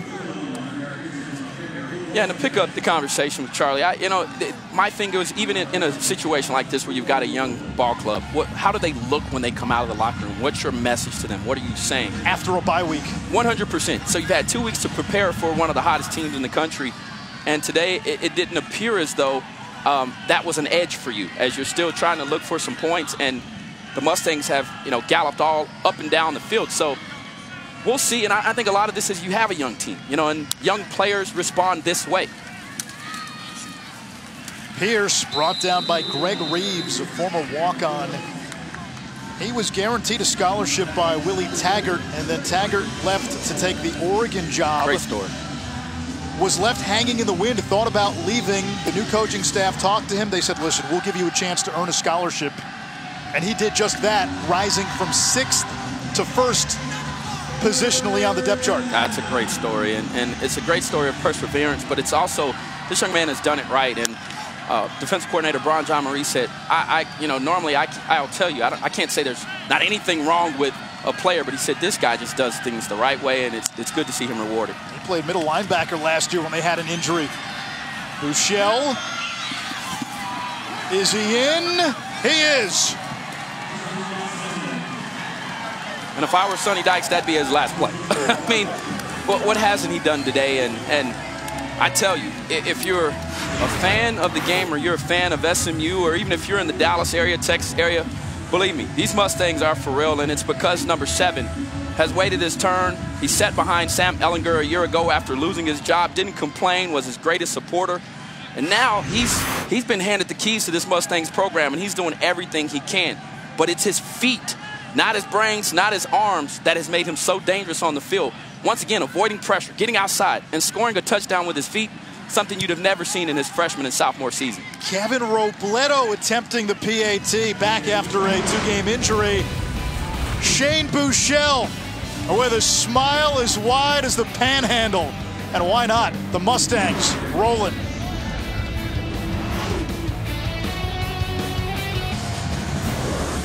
41-0 SMU coming off a big win against TCU.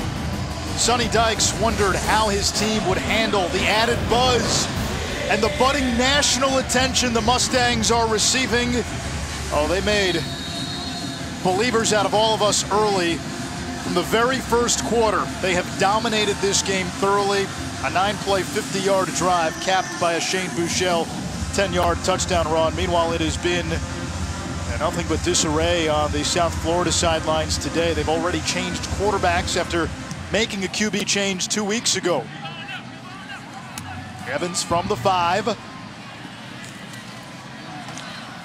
And taken down at the 25. Let's look at our Buick Drive recap. Uh, Buechele, he's made a difference. We started the show talking about his ability now to buy time. I mean, look at him there, just smooth, calm, and collected in the pocket picks up a first down with his feet, and then he comes back here, more pressure in his face. This time, still looking to throw the football, but squeezes in the end zone, protects the football. And I said it, he's been bad to the bone in 2019. He's been a rebel with his feet, not just his arm. We saw his outstanding ball placement today on his deep throws, one of the best quarterbacks in the country at throwing the ball downfield. But he's now really become a rushing threat. Keep in mind that this guy had only averaged one yard a carry at, at Texas during his time and now averaging well over three yards a carry, which is mighty fine for a quarterback. Offense, five-yard penalty, first down. And a penalty on South Florida. And a new rule went into effect a couple of years ago where after a kickoff, that play clock starts at 25, not 40. Right. Penalties continue to mount for the Bulls. It's been a problem all year. Barnett looking for Wilcox who brings it in. Mitchell Wilcox, one of the best tight ends in the country. And Ahmad, I think you can sit here and say, why aren't we saying his name more? Why aren't they using him more? Well, let me tell you something. Barnett knows what kind of weapon he has. I mean, look at him here. That's a great route. I mean, looks like a wide receiver. Created separation for sure on Richard McBride, and then makes an acrobatic catch behind him.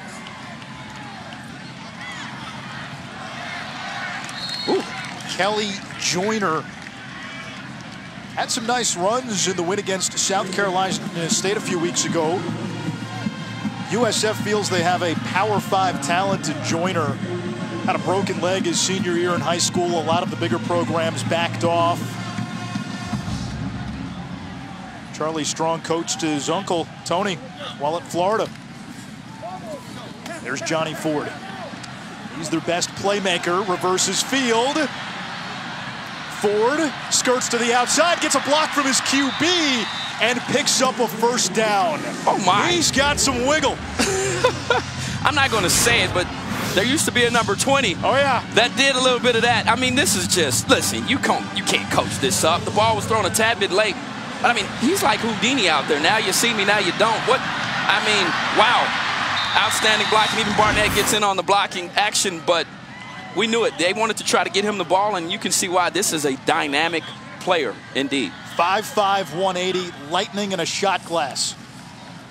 Barnett completes to Mathis. Using the tight ends on this drive, a gain of nine.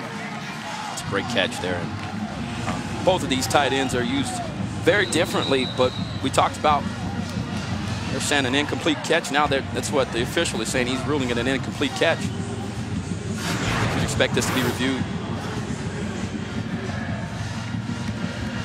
Unless you invoke the competitive effect rule where the replay officials can judge if you know, the game is past the point of being competitive, and you can make the argument that's the case here. They do not have to review every play then. I'd say.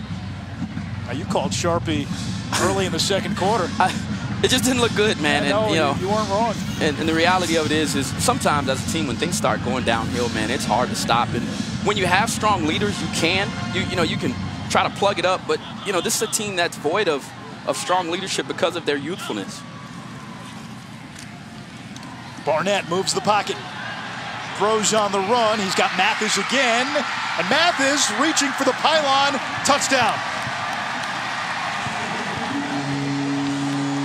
I wasn't sure initially if he got in, but the field judge ruled touchdown. And again, if competitive effect is in play here, they may not review this. I think he got That in. is a touchdown. Wow. Hits the pylon Jeez. before he goes out of bounds. What an outstanding play from the young man right outside, right from right here in Tampa. The awareness too. Jeez. Before he touches down out of bounds, he hits that pylon. I tell you what also hit him was these tight ends in this drive, and um, it was clear that Barnett went to him several times. It started with Wilcox, then he goes back to Mathis, and they were really working the Mustang defense. Kobe Weiss.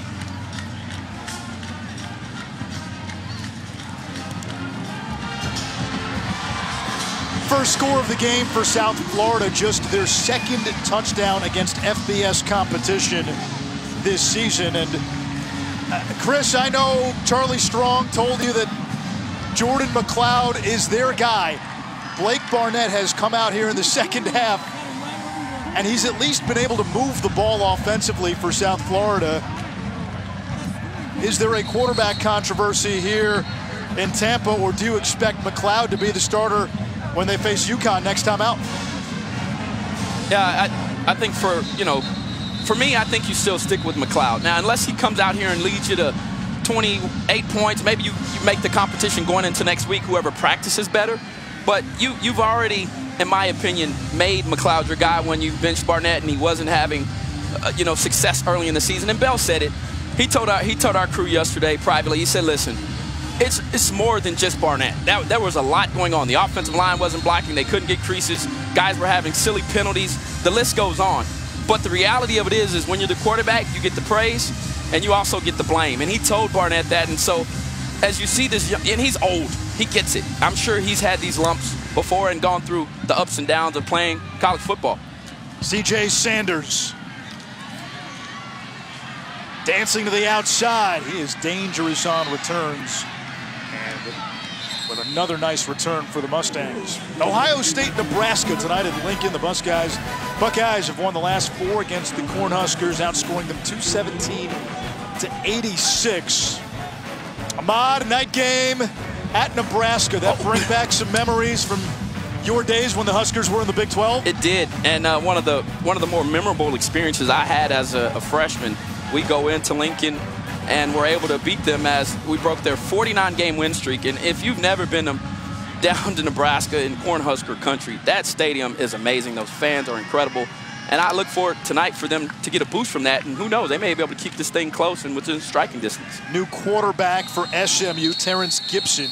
His second game of the season. He, by the way, had an offer from Nebraska coming out of high school.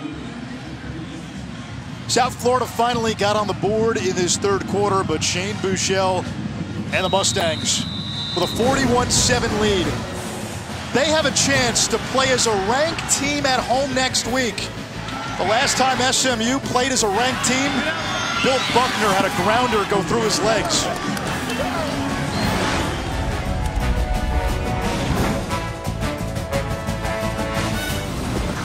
AP rankings brought to you by Capital One. Clemson just got a stop on a two-point conversion attempt by North Carolina. As Terrence Gibson runs for a first down for SMU. Gibson, the backup quarterback today. William Brown did not dress. Bama up big on Ole Miss. Ohio State at Nebraska tonight. Oklahoma continues to roll in. Wisconsin got a bit of a challenge from Northwestern today before hanging on. Notre Dame pulling away from Virginia. I thought SMU would be ranked after the win against TCU last week. I know South Florida is about to drop to one and three, and this doesn't help their case, but the way they've built on last week to me, coming out with a dominating performance, it validates further what happened in Fort Worth a week ago, and I would expect SMU to be ranked. I think they should be ranked when they play Tulsa a week from today. Well, if you're, you're looking at the film, and, and you, you, it's hard not to see the, the talent that they have and um, a hungry ball team. Eric Williams. And, and I think to your point, Anish, even the USF staff, they recognize it. They told us, they said, this doesn't look like your typical SMU team. I mean, they've got length. They're long, they're strong, they're big, they're fast. I mean, all the things that you associate with the top teams in the top conferences. And, um, you know, as you mentioned earlier, I think the schedule sets up perfectly for them. It looks like they've got leadership. And I really like Sonny Dykes after talking to him yesterday and being recruited by his father, Spike Dykes. I, I could tell you this much: that you start to get that feeling. You know, he's he looks like the guy that you just want to be around the fire with, telling crazy football stories. And um, and I asked him, I said, "What did you learn from your dad?" He said, "You know, to treat everybody the same." And right now, that is paying major dividends for him because he's getting big time recruits. Gibson can't get away. It's third down. SMU, since the death penalty, has not had a ton of success. They went to four straight bowl games with June Jones, but when they did, they didn't have a lot of in-state players. Yep. You live in Texas, and you know people still kind of gave them some side eye. Yeah, you're winning, but right. you're not winning with Texans. Chad Morris, when he took the job and he came back to Texas, where he had been a successful high yep. school coach, that was part of his mo. I'm going to recruit the state of Texas. Sonny Dykes has built on that, but he's added a layer with the transfers. And you're seeing a good one today in Shane Buechele. You see one in Reggie Roberson, who was here before Dykes took over. As Williams pinballs his way near midfield. The Texans and the transfers from the state of Texas inviting them back home. This is now a program where guys are looking to go when they want to come back home. It's amazing to me. And, you know, and when they when they put Dallas across their chest a few weeks ago, it, they, were, they were really trying to to secure the boundaries there in, in a very fertile recruiting ground. And I had guys that I played with at Texas retweeting the picture out that are from Dallas, like representing Dallas, you know, and it was a very unique thing to do. And I asked him about it, and he said, you know, that's the plan. We we want to do that. And so I think the fact that you, if you're Sonny Dykes and you're now opening your arms up to these guys that are having struggles and want to get back home, I think it's a great theory. But on the flip side, also Charlie Strong is doing the exact same thing here in the Florida area. So two programs really taking advantage of the transfer portal. Yeah, we'll talk more about the transfer portal, but you're looking at two schools today that stand to benefit from this new age in college football. ESPN, home of the college football playoff. Welcome back to Tampa. This transfer portal has become such a big deal at schools like SMU that Sonny Dykes has a meeting every day at 5 p.m. to discuss who has entered the transfer portal that day. They have one person that keeps track of it.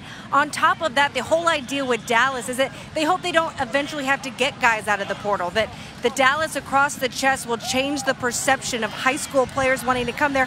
And guys like TJ Daniel, who was on a billboard, that one day they'll be able to say, I want to be on a billboard too over 114. Like TJ Daniel was and come straight to SMU, not have to go somewhere first and come straight to SMU. A nice run there by Blake Barnett.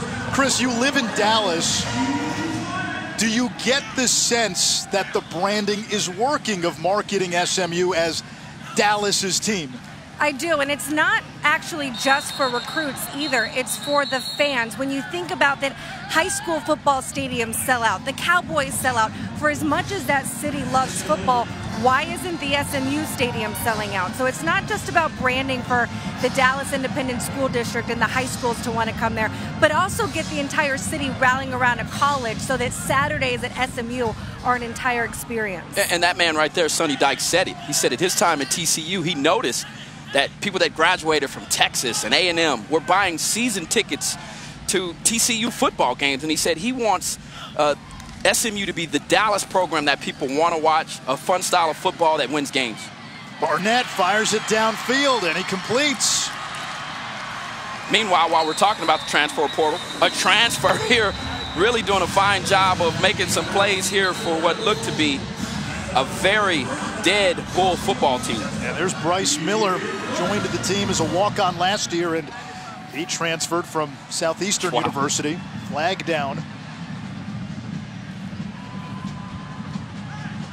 11.09 to go, fourth quarter.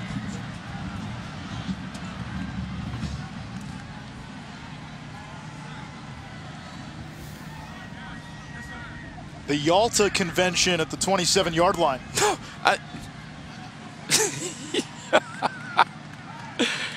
oh my God, Anish. oh, face mask, defense, half distance to the goal, automatic first down.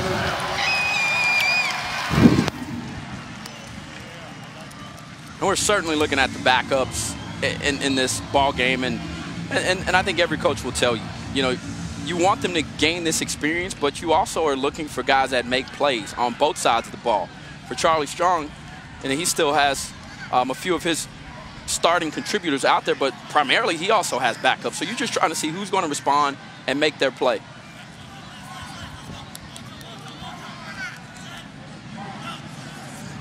Barnett against the blitz. End zone touchdown, Bryce Miller. So Blake Barnett has come in here in the second half, and he's led USF to a couple of touchdown drives. And remember, there was one early where the Bulls were moving the ball downfield. Barnett had to come off the field because his helmet came off on the next play. The ball was snapped over Evans's head. He's looked sharp. And, and here's what, if you're watching at home, these, these are the backups for the Mustangs. Sure. So he's doing it, but he's doing exactly what he's supposed to be. Uh, the one thing I've been surprised with is his athleticism. I mean, despite his size at 6'5", 225, the kid moves very well, as that one's nearly blocked by the Mustangs. He's a mature young man, married, wife Maddie, a pro surfer, has a son Brooks, and a touchdown pass here. Barnett to Bryce Miller. ESPN College Football is presented by Sling TV, the best of live TV, and get thousands of top shows and movies on demand. Those are real sharks. I actually found it very calming. Very peaceful. well, I tell you what, our crew, we get a chance to do some really fun things, and you have to take advantage if you're in Tampa of the Tampa Bay Aquarium. Our buddy here, Anish, one of our leaders, he can't swim. So all week long, Kris and I were on him about it. And to your credit, Anish, you fought through for the team. Thank you. Kris, I how am, funny was that? I was so proud of Anish. He was so scared. He uh, got up there and did it. But we were like in close proximity. I wish I just asked him if he had used the bathroom before we got in there. I swear, I should have brought adult diapers. That Those were real sharks. They put you in a tank. They submerge you. Kris is a certified lifeguard. There's me. I, am frightened and terrified to let go of the ledge. Look at the two Texans. We're just in it. We're going. We're not out. Only, not only can I not swim, again, there's real sea life. And you're swimming right by these sharks and they're hitting up against your legs. And remember, I'm from Jersey where swimming with the fishes has a connotation.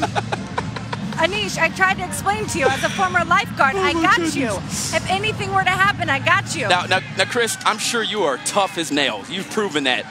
But it's a shark. I find it oddly relaxing and calming, to be quite honest. Oh, man. You know, they Maybe it's because I didn't want to move. I was afraid if I like kicked my legs at all, it would like distract the shark and they'd come right for you. The you know, Florida Aquarium. We, no, great folks was, there. Megan and Matthew and Wayne and Roger. Everybody there great. really made it a, a great experience.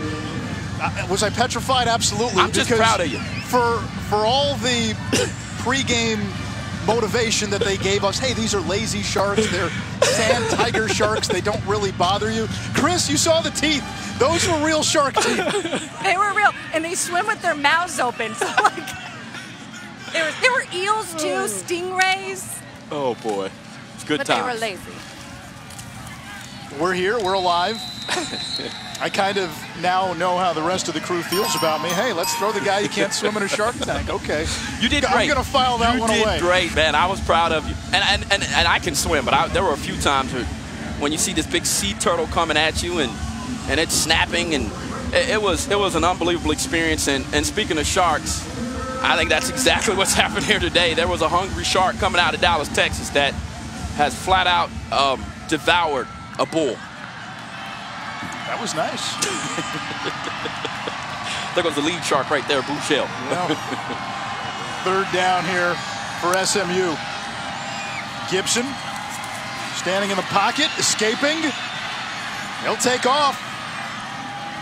And he beats Reeves and angles out of bounds, and he's got a first down. Nice run by Terrence Gibson, but hang on, there is a flag.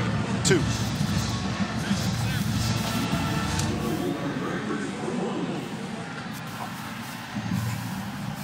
If I see another flag, I, oh my goodness. Personal foul, unnecessary roughness, defense number 55, 15-yard penalty, automatic first down. That, that's the 20th flag of the ball game, guys. I mean, 20th? Jeez. Perhaps some of the officials are auditioning. Was it the, the Cecil B. DeMille line? I'm ready for my close-up. We're officially off the rail. oh, man. You look at the penalties. This is the third time South Florida has had at least nine penalties in a ball game. On first down, Tyler Levine. Later tonight on ABC, Ohio State visits Nebraska. That game at Memorial Stadium in Lincoln. Game day was there this morning. It should be a raucous atmosphere. Can Scott Frost get that marquee win for the Huskers? And will this Buckeye freight train continue to roll? Urban Meyer's gone. They've got a new quarterback in Justin Fields. Now, this still looks to be a championship contender once again. Who are you taking? You always ask me. to Ohio pick. State. You got Ohio, Ohio State. State. I think it's a lot closer than people are making it. And if the black shirts return tonight, look out Justin Fields. I'm calling this game to come down to the fourth quarter and the Cornhuskers to make a return back to being a competitive program in the Big Ten. Nice moves by Tyler Page to get free down the sideline. Junior out of Friendswood, Texas, and more penalty markers fly upon Ahmad's request. Jeez. And this is just a silly play on the end of this. As uh, After the play, Bellamy. personal foul, unnecessary roughness, late hit out of bounds, defense number four, 15-yard penalty, automatic first down. That's on Greg Reeves, and now a man down at the 32-yard line for South Florida. Yeah, that, this is just uncalled for for Bellamy. He's clearly in the white as there's an injured bull down on the field as well, but um, just a silly mistake. And, you know, he's a freshman from Florida as it appears to Devin Studstill down on the field. Will step aside, 7.51 to go in regulation.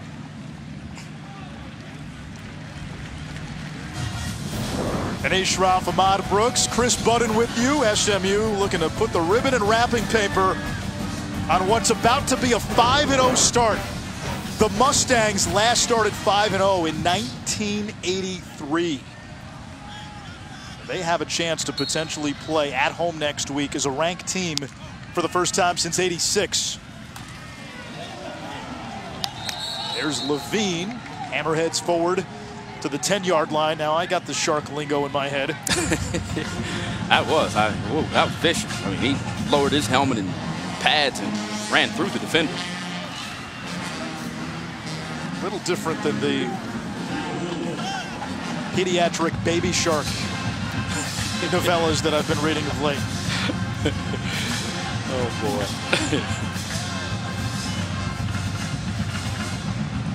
Page lines up in the slot. Gibson in at quarterback. William Brown, the regular backup, not playing today. He did not dress.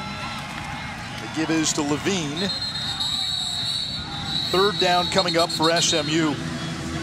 You start talking about the best teams in the group of five. Certainly UCF is still in that conversation despite the loss to Pitt a week ago. Boise State, part of the Mountain West, which showed incredibly well in non-conference early in the season. Boise State currently the highest ranked group of five team. And you know, SMU pecking at the door, knocking at the door of the top 25. They received a lot of votes this past week. They were 28th if you want to drag the poll down a little further. But if this season continues on an upward trajectory, I think you can dream a little bit in Dallas in the Metroplex. Levine again. And it sets up first and goal at the one.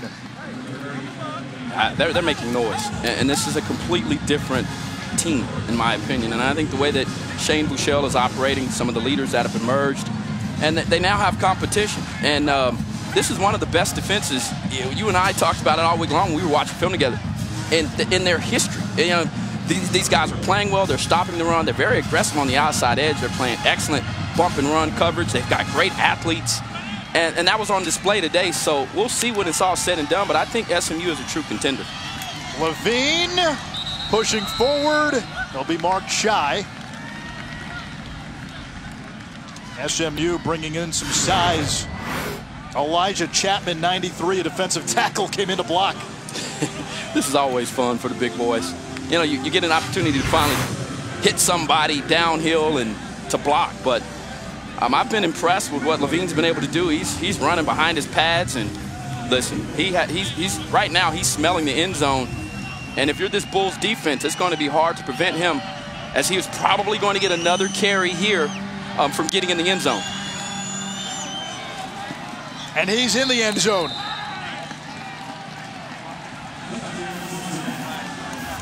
We do have a penalty marker. Are you kidding me right now?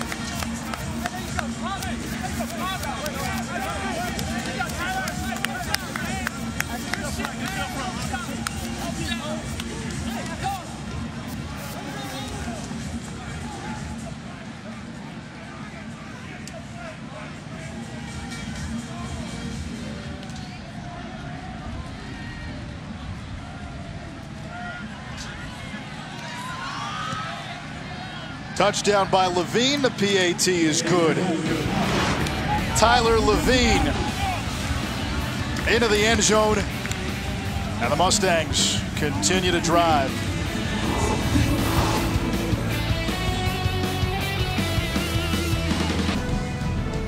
Boomer and TJ are back with NFL Primetime tomorrow, 7.30 Eastern, only on ESPN+. Plus. All the highlights and breakdowns from the day's games, updates after the Sunday night and Monday night games. SVP and Joe Tess will be part of the fun as well. Gorgeous setting sun, the diminishing daylight here of Tampa. And we've got 5.01 to play. SMU on its way to a 5-0 start It's the purple haze of the Sunshine State.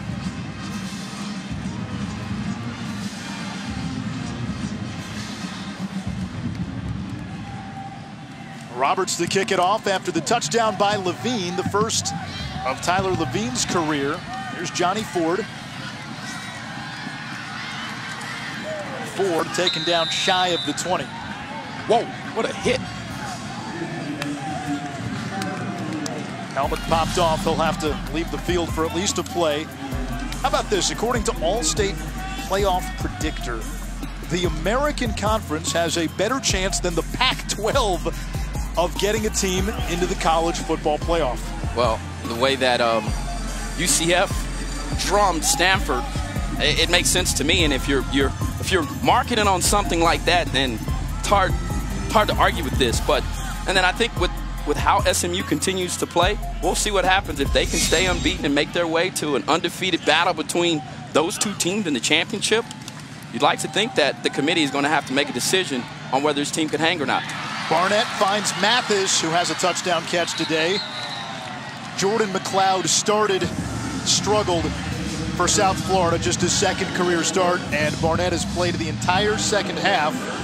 But Charlie Strong told Kris Budden before the second half kickoff that McCloud is still the guy. Read into that what you will.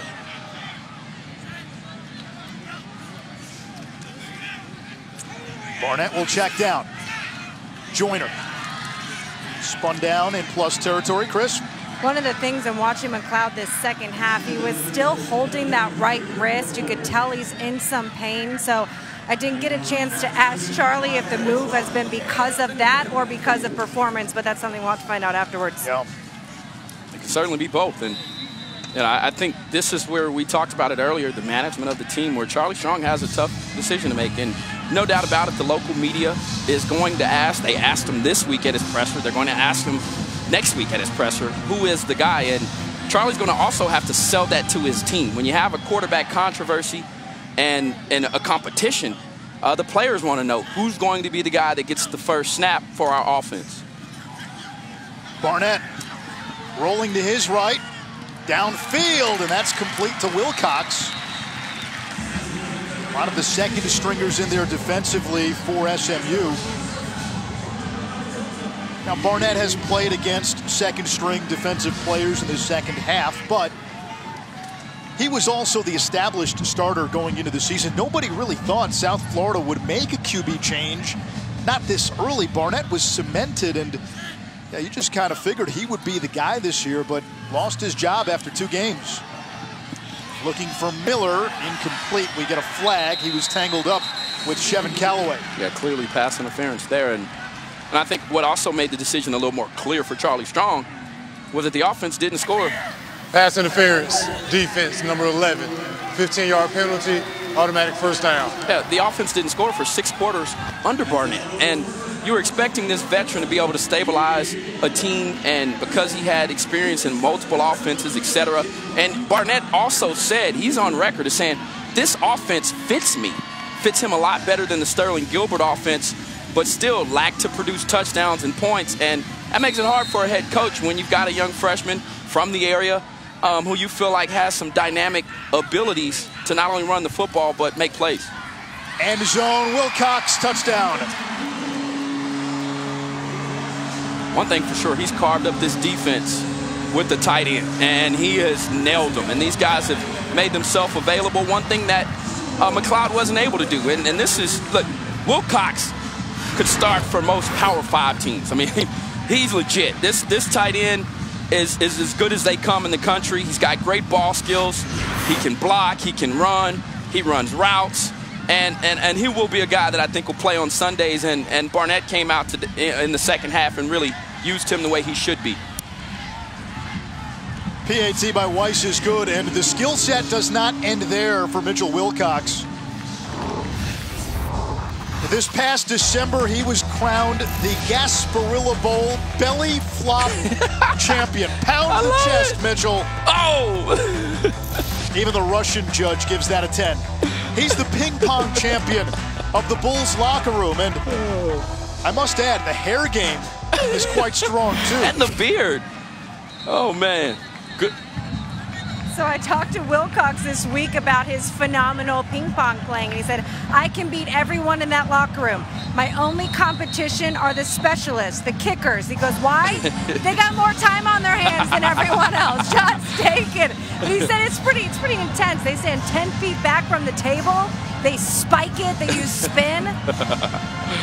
That's Forrest Gump ping pong. Yeah, well, and you never it never is too early or too late to take shots at the specialists. All the players that play on the opposite side of the ball are like, your schedule is so easy, and, that, and it gets even easier at the next level in the NFL, where they literally will go golf during the day when the team is in the weight room. It, it's unbelievable. So I, I, don't blame They'll them for that. Golf. Yeah, no, seriously, they will play a round of golf during the day.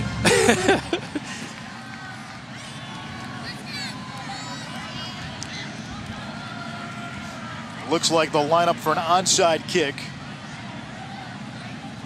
SMU not quite ready for it. Mustangs still recover. It did not go 10 yards, so a flag is down.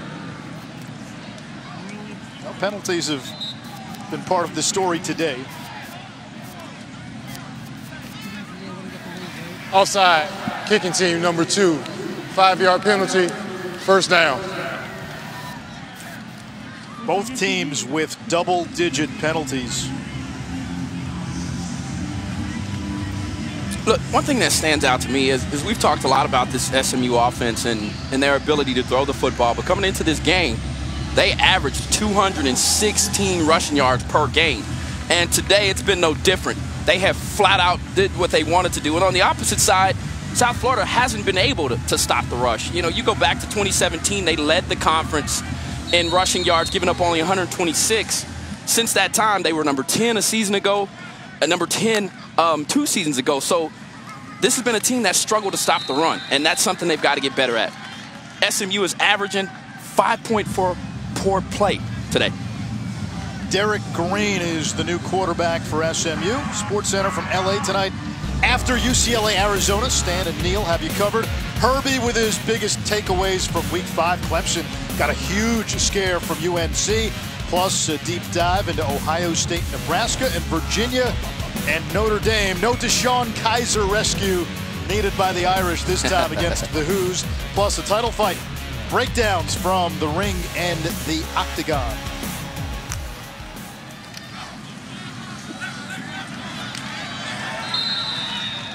CJ Sanders getting the call. Sanders has a pretty good backstory, a child actor. Go to IMDb. He played young Ray Charles in the movie Ray. That's a great movie, too. Wow. Also has credits in Six Feet Under, Grey's Academy, Grey's Academy, and Cold Case, and Saved. His dad, Chris Sanders, played in the NFL, was at Ohio State. That's great. And I'm sure he's getting paid off of those, which is even better for a student athlete who's normally broke.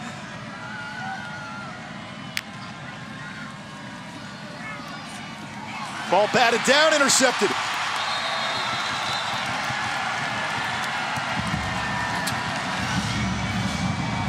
Stacy Kirby with the INT for USF. Not just an INT, a, a very athletic. You see him there uh, rushing at the top of your screen. The awareness, stops, bats the ball up, and then catches it. That's a highlight for sure as uh, the Bulls really have done a better job. But the reality of it is, is, you know, this game was over, in my opinion, in the first four drives. I mean, when you, you get them a three and out, and then they come back and rip off 21 points, and, and then 28, really. At that point, the game was over. But and this team is still fighting, and you're seeing some freshmen get some reps, some confidence. This is a young team for Charlie Strong. And, and hopefully, maybe some of these young guys will get the confidence to be able to move up into that mix and really be contributors at the beginning of a game. USF has to find a way to reverse the current trend. I would agree. They were 17 and 2 in Charlie Strong's first 19 games. About to go to 1 and 9 since then, and the only win against an FCS school. Barnett downfield, incomplete. Yeah, and you start to look at the future schedule for the Bulls, the non-conference. In Alabama, they've got Alabama. Personal foul, illegal hands to the face, defense, number 93. 15-yard penalty, automatic first down. Yeah, they've got Alabama, Florida, Miami, Boise State, and even a showdown next year with Charlie's old team, Texas. So this is this is something that you want to hope you hope these guys grow up really fast because you don't want them to lose confidence. And and if you're Charlie Strong, if his players lose confidence, it could be a situation where he and his staff lose a job. Yeah, today was a showdown between Charlie Strong and his old quarterback. And Shane Buechele took a victory lap.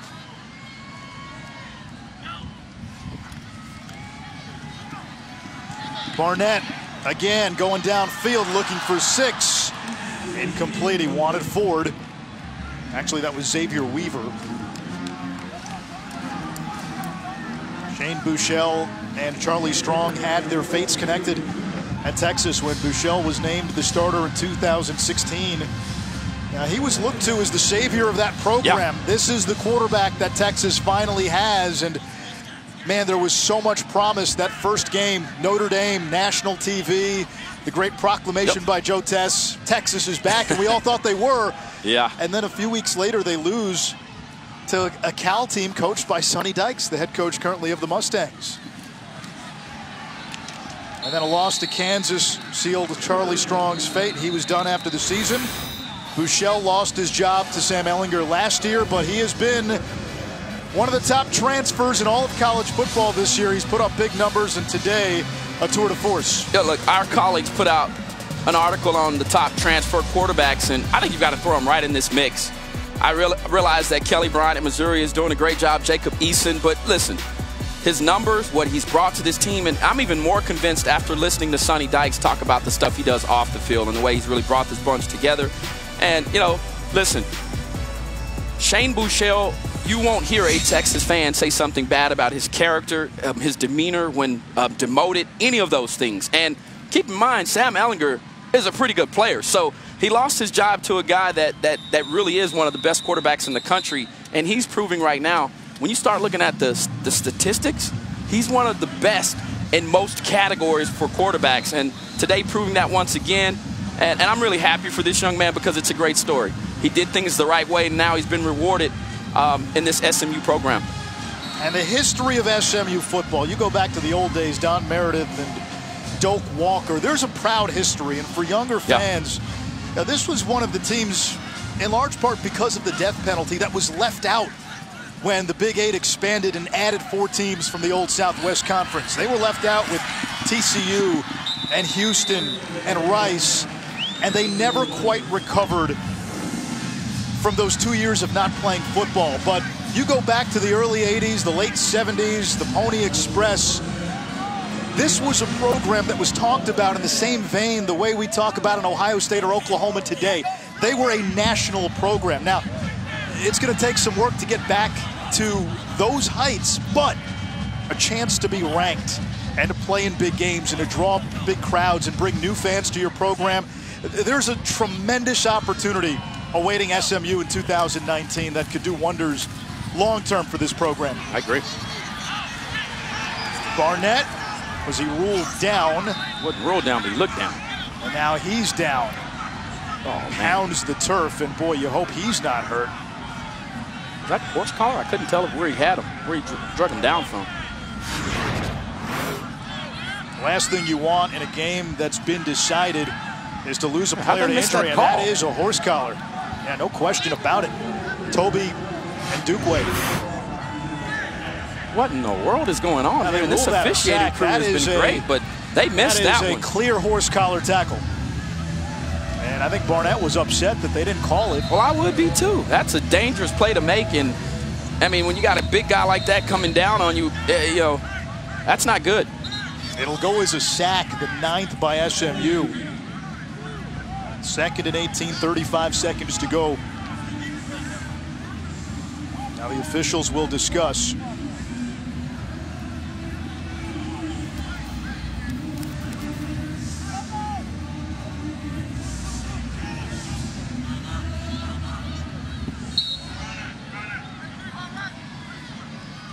Most of the crowd has cleared out long ago. Barnett standing in the pocket, gets hit again, and that interception is dropped. Richard McBride nearly had his first pick as an SMU Mustang. It's third and long, and Barnett right now taking some unnecessary hits. He didn't move as well in the pocket. Watch him here.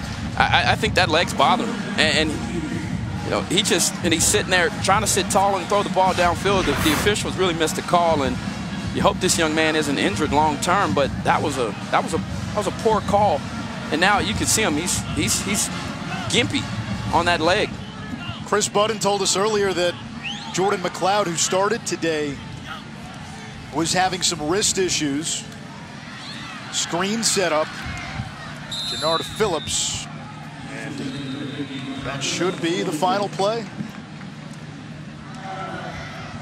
How we get a timeout by the Bulls? It will be a 30-second timeout. Really? Okay.